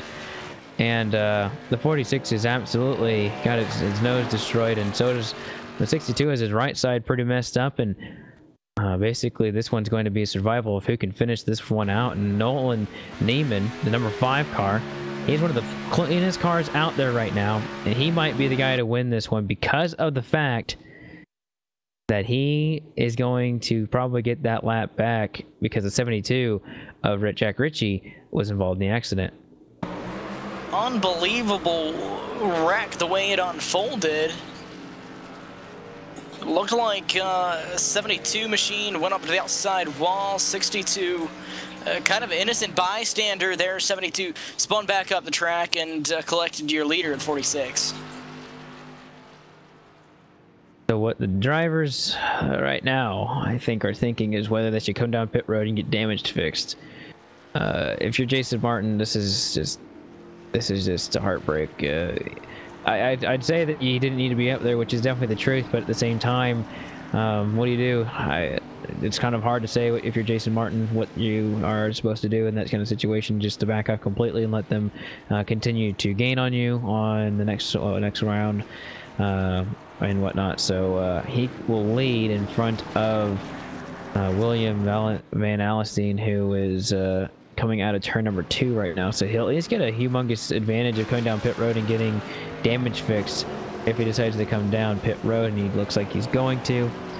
Driver in second isn't on even isn't even in turns three and four yet, so he just keeps the pace nice and even, doesn't speed. He's going to be able to get some damage fixed, and maybe he has a, a fast repair. If he has a fast repair, I'd say this race is over, uh, just because of the fact that he should be able to get a really decent restart here. Um, and he looks like he's going to slide into his box nice and cleanly. He does not have a restart, so or yes, he does. His car looks pristine. so for him, wow, he held on to that reset for a long time, and uh, he's in good hands. But look at the five; he's going to pass him right here. But he's a lap down still, actually, so it shouldn't actually matter. Oh boy, maybe a little bit of tempers going on between 25 and uh, I believe it was the 59.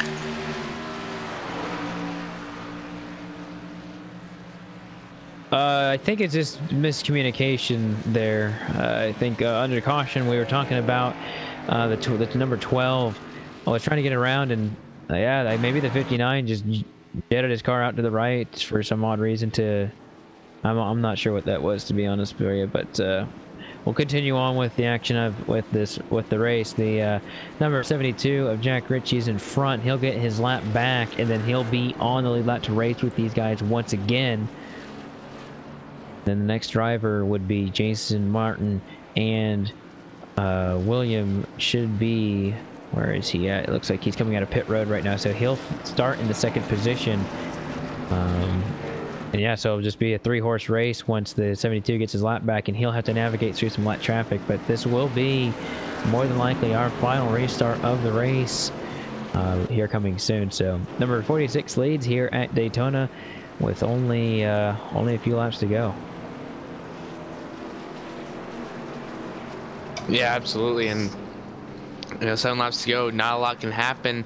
Well, a lot can happen, but uh, with this many cars on the lead lap, you know, you, Jason Martin has got this one in the bag basically, and uh, you know he has a fantastic car and uh, been strong all night. Been up in the uh, been up the in the in the lead pack this whole entire night. So um, you know, especially with that fast repair now playing into his benefit, I it's it's going to be really easy for him to just find a way around these cars because uh, you know the 72 got into that that incident and uh, you know the 46 is the cleanest car out there. Uh, so we'll have to see how this all works out in the end. Probably going to be about five to six laps to go when we go take that green flag. And you know it's just been uh, been uh, quite the race all night. And you know seen things that you've never seen before on uh, long or uh, restrictor plate uh, tracks before. So we'll see how this one plays out in the end, and uh, let's see if we get another caution. I think at this point I'm going to pull a quote from uh, from the famous Fox booth. Have I ever? Have you ever? And uh, the answer is going to be no. I have never. In this race in particular, uh, three drivers have an opportunity to win this race at the end of the day, and um, basically right now, Jason Martin has probably the best shot to win it, but uh, anything can happen right here with everyone getting right back to it, and Jason was just in such a opportune part, uh, opportune time to uh, to get that. Uh, he, what the good thing about him, about it for him uh, is that even though he did have the caution and everyone got to, got to catch up to him, is that the uh, 62 has, does have some damage. So while the number uh, 72 gets his lap back, he has some massive damage on that machine too. So I think Jason Martin should be in the clear at this point, but he should, he will have the uh, number 62 behind him and Remember, there's a lot of other guys battling for position out here. You've got Caleb Weekly in the 12 car, and he's going to fight against Nolan Neiman and Gary Weaver for position. There's just as many guys fighting for the one lap down as there are on the lead lap. So there's three cars going to fight for the win, and three guys are going to fight for third or for fourth place. Kind of sounds like heat racing, but they're racing together, or should I say class racing. Uh, and road course racing, but uh, this is restrictor plate racing with uh, three drivers on the lead lap and three drivers on the off lap.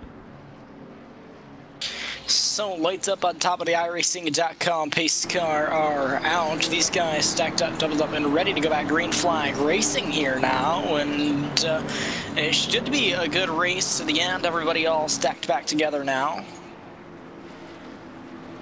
Yeah, definitely should. So these guys come through turns three and four for the final time, and oh, well, it's not for the final time, for the for the final time of this uh, of this uh, pace period. Uh, here as we will have under 10 laps to go. It'll be seven right now and six when they get the green flag. And it's uh, really anyone's game, but I think the big advantage goes to that 46 of Jason Martin here coming to the green flag this time. iRacing official pace car comes down here very shortly. There goes down to the safety of pit road. And the 46 of Jason Martin starts on, gets going on the loud pedal. He's got himself advantage. Six laps to go under green flag conditions. And here he goes. He's got to get himself a good jump, and the 62 is right behind him. Goes to the outside. He is going to try and get the win away from him, and the 25 is going to try and push him. That's going to be the 25 of Jason D. Miller. They almost come into contact, and he's trying to take the line away. Still side by side coming off to turn number two coming down the back stretch side by side. Still that number 25 still working with the 62 of Van Alstyne able to freight train that 46 on that top side. Let's see if they get clear in time before the turn. Coming down now getting that position away from Jason Martin. Jason Martin now gonna have to get the draft off of the number 25 of Miller to have any sort of chance. But now the man who has had terrible luck all night long, has taken the race lead with five laps to go. What a storybook ending for him if he can hold him off. The 25 of James D. Miller kind of gets out of the way, and I'm, I'm unsure if that's a courtesy deal for him, but he looks like he has a pristine car, so it's a little odd. So uh, that's going to be giving the number 46 of Jason Miller a humongous run off of turn number one into turn number two. And he's going to go to the outside, and he is going to have a humongous, uh, uh, basically a freight train of speed going down the back straightaway. And so he's going to get in front of the 62. And here comes the 25 back to the back bumper of the 60 of the 62. And there now we're back single file between these guys and what an odd assortment of ranges this race has been. But the last five laps, here we go. Now down to four laps to go. Now down to just a few. So 46 of Jason Martin can goes back to the lead this time by and I'm unsure what's going on with these three, but uh, something I will, I, I, assure you will happen here in the next couple laps that'll definitely change the race of uh, what we're seeing right now down through turn two right now, heading on to the back straightaway. Now the, the long back straightaway, perfect opportunity for a pass towards the end of this thing if it were happened. Uh, you notice maybe a little bit of damage still left on that 62 machine, able to get right to the back bumper of the 46 machine down into turn number three that time, however. A little bit of help from the 25 machine behind him. A lot of push from the 25, who's a lap down car. He is uh, he resides in eighth position nine laps down, but is still up to make this really interesting for these guys. If he's not there, I have a good feeling that the 62 would have no chance at winning this race, but nonetheless, he is right there, able to give some big pushes to the 62, and I'm unsure if they're teammates or not, but he's at least making this one really uh, really fun for the 62 to try and have a shot at it, uh, albeit that the uh, 46 has had the strongest car all day long. He has led over 120 five laps. He's going to probably uh, get over 140 if he leads this time by, which is an incredible amount. We saw him leading earlier, and the only other driver to lead nearly as many as him is the 62, who gets taken out right there with a 25. I'm not really sure what he's doing, but uh, he's a lap down car, so uh, either I think he should either push him or, or stay back there because he almost wrecked him right there. Coming down to the backstretch, a little bit of bumping going on with Jason Martin and number 62 William Van Alstyne. The 25 is going to have to wait until that last lap to get the number 62 in front again. Had a little bit of a mix-up on that short chute and the tri-oval, but now we're coming up to lap traffic. We'll see how they play a factor into this. They look to be uh, headed, keep it up high and uh, letting them go. See just a little bit of movement downward, but uh, all is clear. Coming to the white flag here at Daytona International Speedway. Jason Martin finally gets the white flag in the air and he is able to at least for the moment keep the lead. He leads 141 laps at the end of the night. Will he lead 142? The 62 of William Van Alstyne is going to try and upset this one. He is the underdog in this one starting from the back. And Jason Martin trying to block. Oh, the 62 gets turned by the 25. Big, it collects the 5, and the 46 is going to come off into turns number 3 and 4 and have a clear sail to win this race. No contest anymore for the 46. He will come into the tri-oval, and no matter what, he should win this race. And yes, he does. He'll collect the checkered flag after, after the number 62 gets taken out into turn number 3. And that will be a win for the Razor Chevrolet here tonight after a wild, wild night here at Daytona. Yeah, just a wild finish going on. To William Van Alstyne, another terrible break for him. You know, terrible breaks all night long, and that was just the nail in the coffin for him coming down the backstretch. And you see that number 41 congratulating that number 46. Uh, but heartbreak for William as he was leading with a couple laps to go. Then the 46 of Jason Martin takes it all away and just a terrible, terrible uh, night for a number 16 machine. So Jason Martin will win tonight's race. We'll go through your full field rundown. He win, he wins here tonight at Daytona for the suicide prevention and make excuse me there uh, in the make uh, make Chester proud 500. So he wins tonight's race with Jack Ritchie finishing in the second position. William Van Alstyne finishes third. Caleb Weekly finishes fourth. Gary Weaver fifth. Nolan Neiman finishes sixth, or finishes uh, yeah finishes sixth. James D. Miller will finish seventh with Austin Vayway. Fairway finishes in the eighth position with Vic Bloom, ninth. Liam Sheen in the tenth position with Hunter Truex finishing 11th. Abbas Laddock finishes 12th. Byron Rodney finishes 13th. Carl Zimmerman will finish in the 14th position with Jeffrey Fisher finishing 15th. Dan Oliver will finish 16th. Shane McCurry, Nicholas Schmig, Kyle Beck, and Matthew S. Allen will finish out the last few positions tonight. And we will try and get a hold of your top three here tonight. And it looks like we might be able to get a hold of Jack Ritchie, who finishes in the second position here tonight and uh, we'll send him down. I'll think uh, I think Trevin will catch up with him and, and on down on pit road.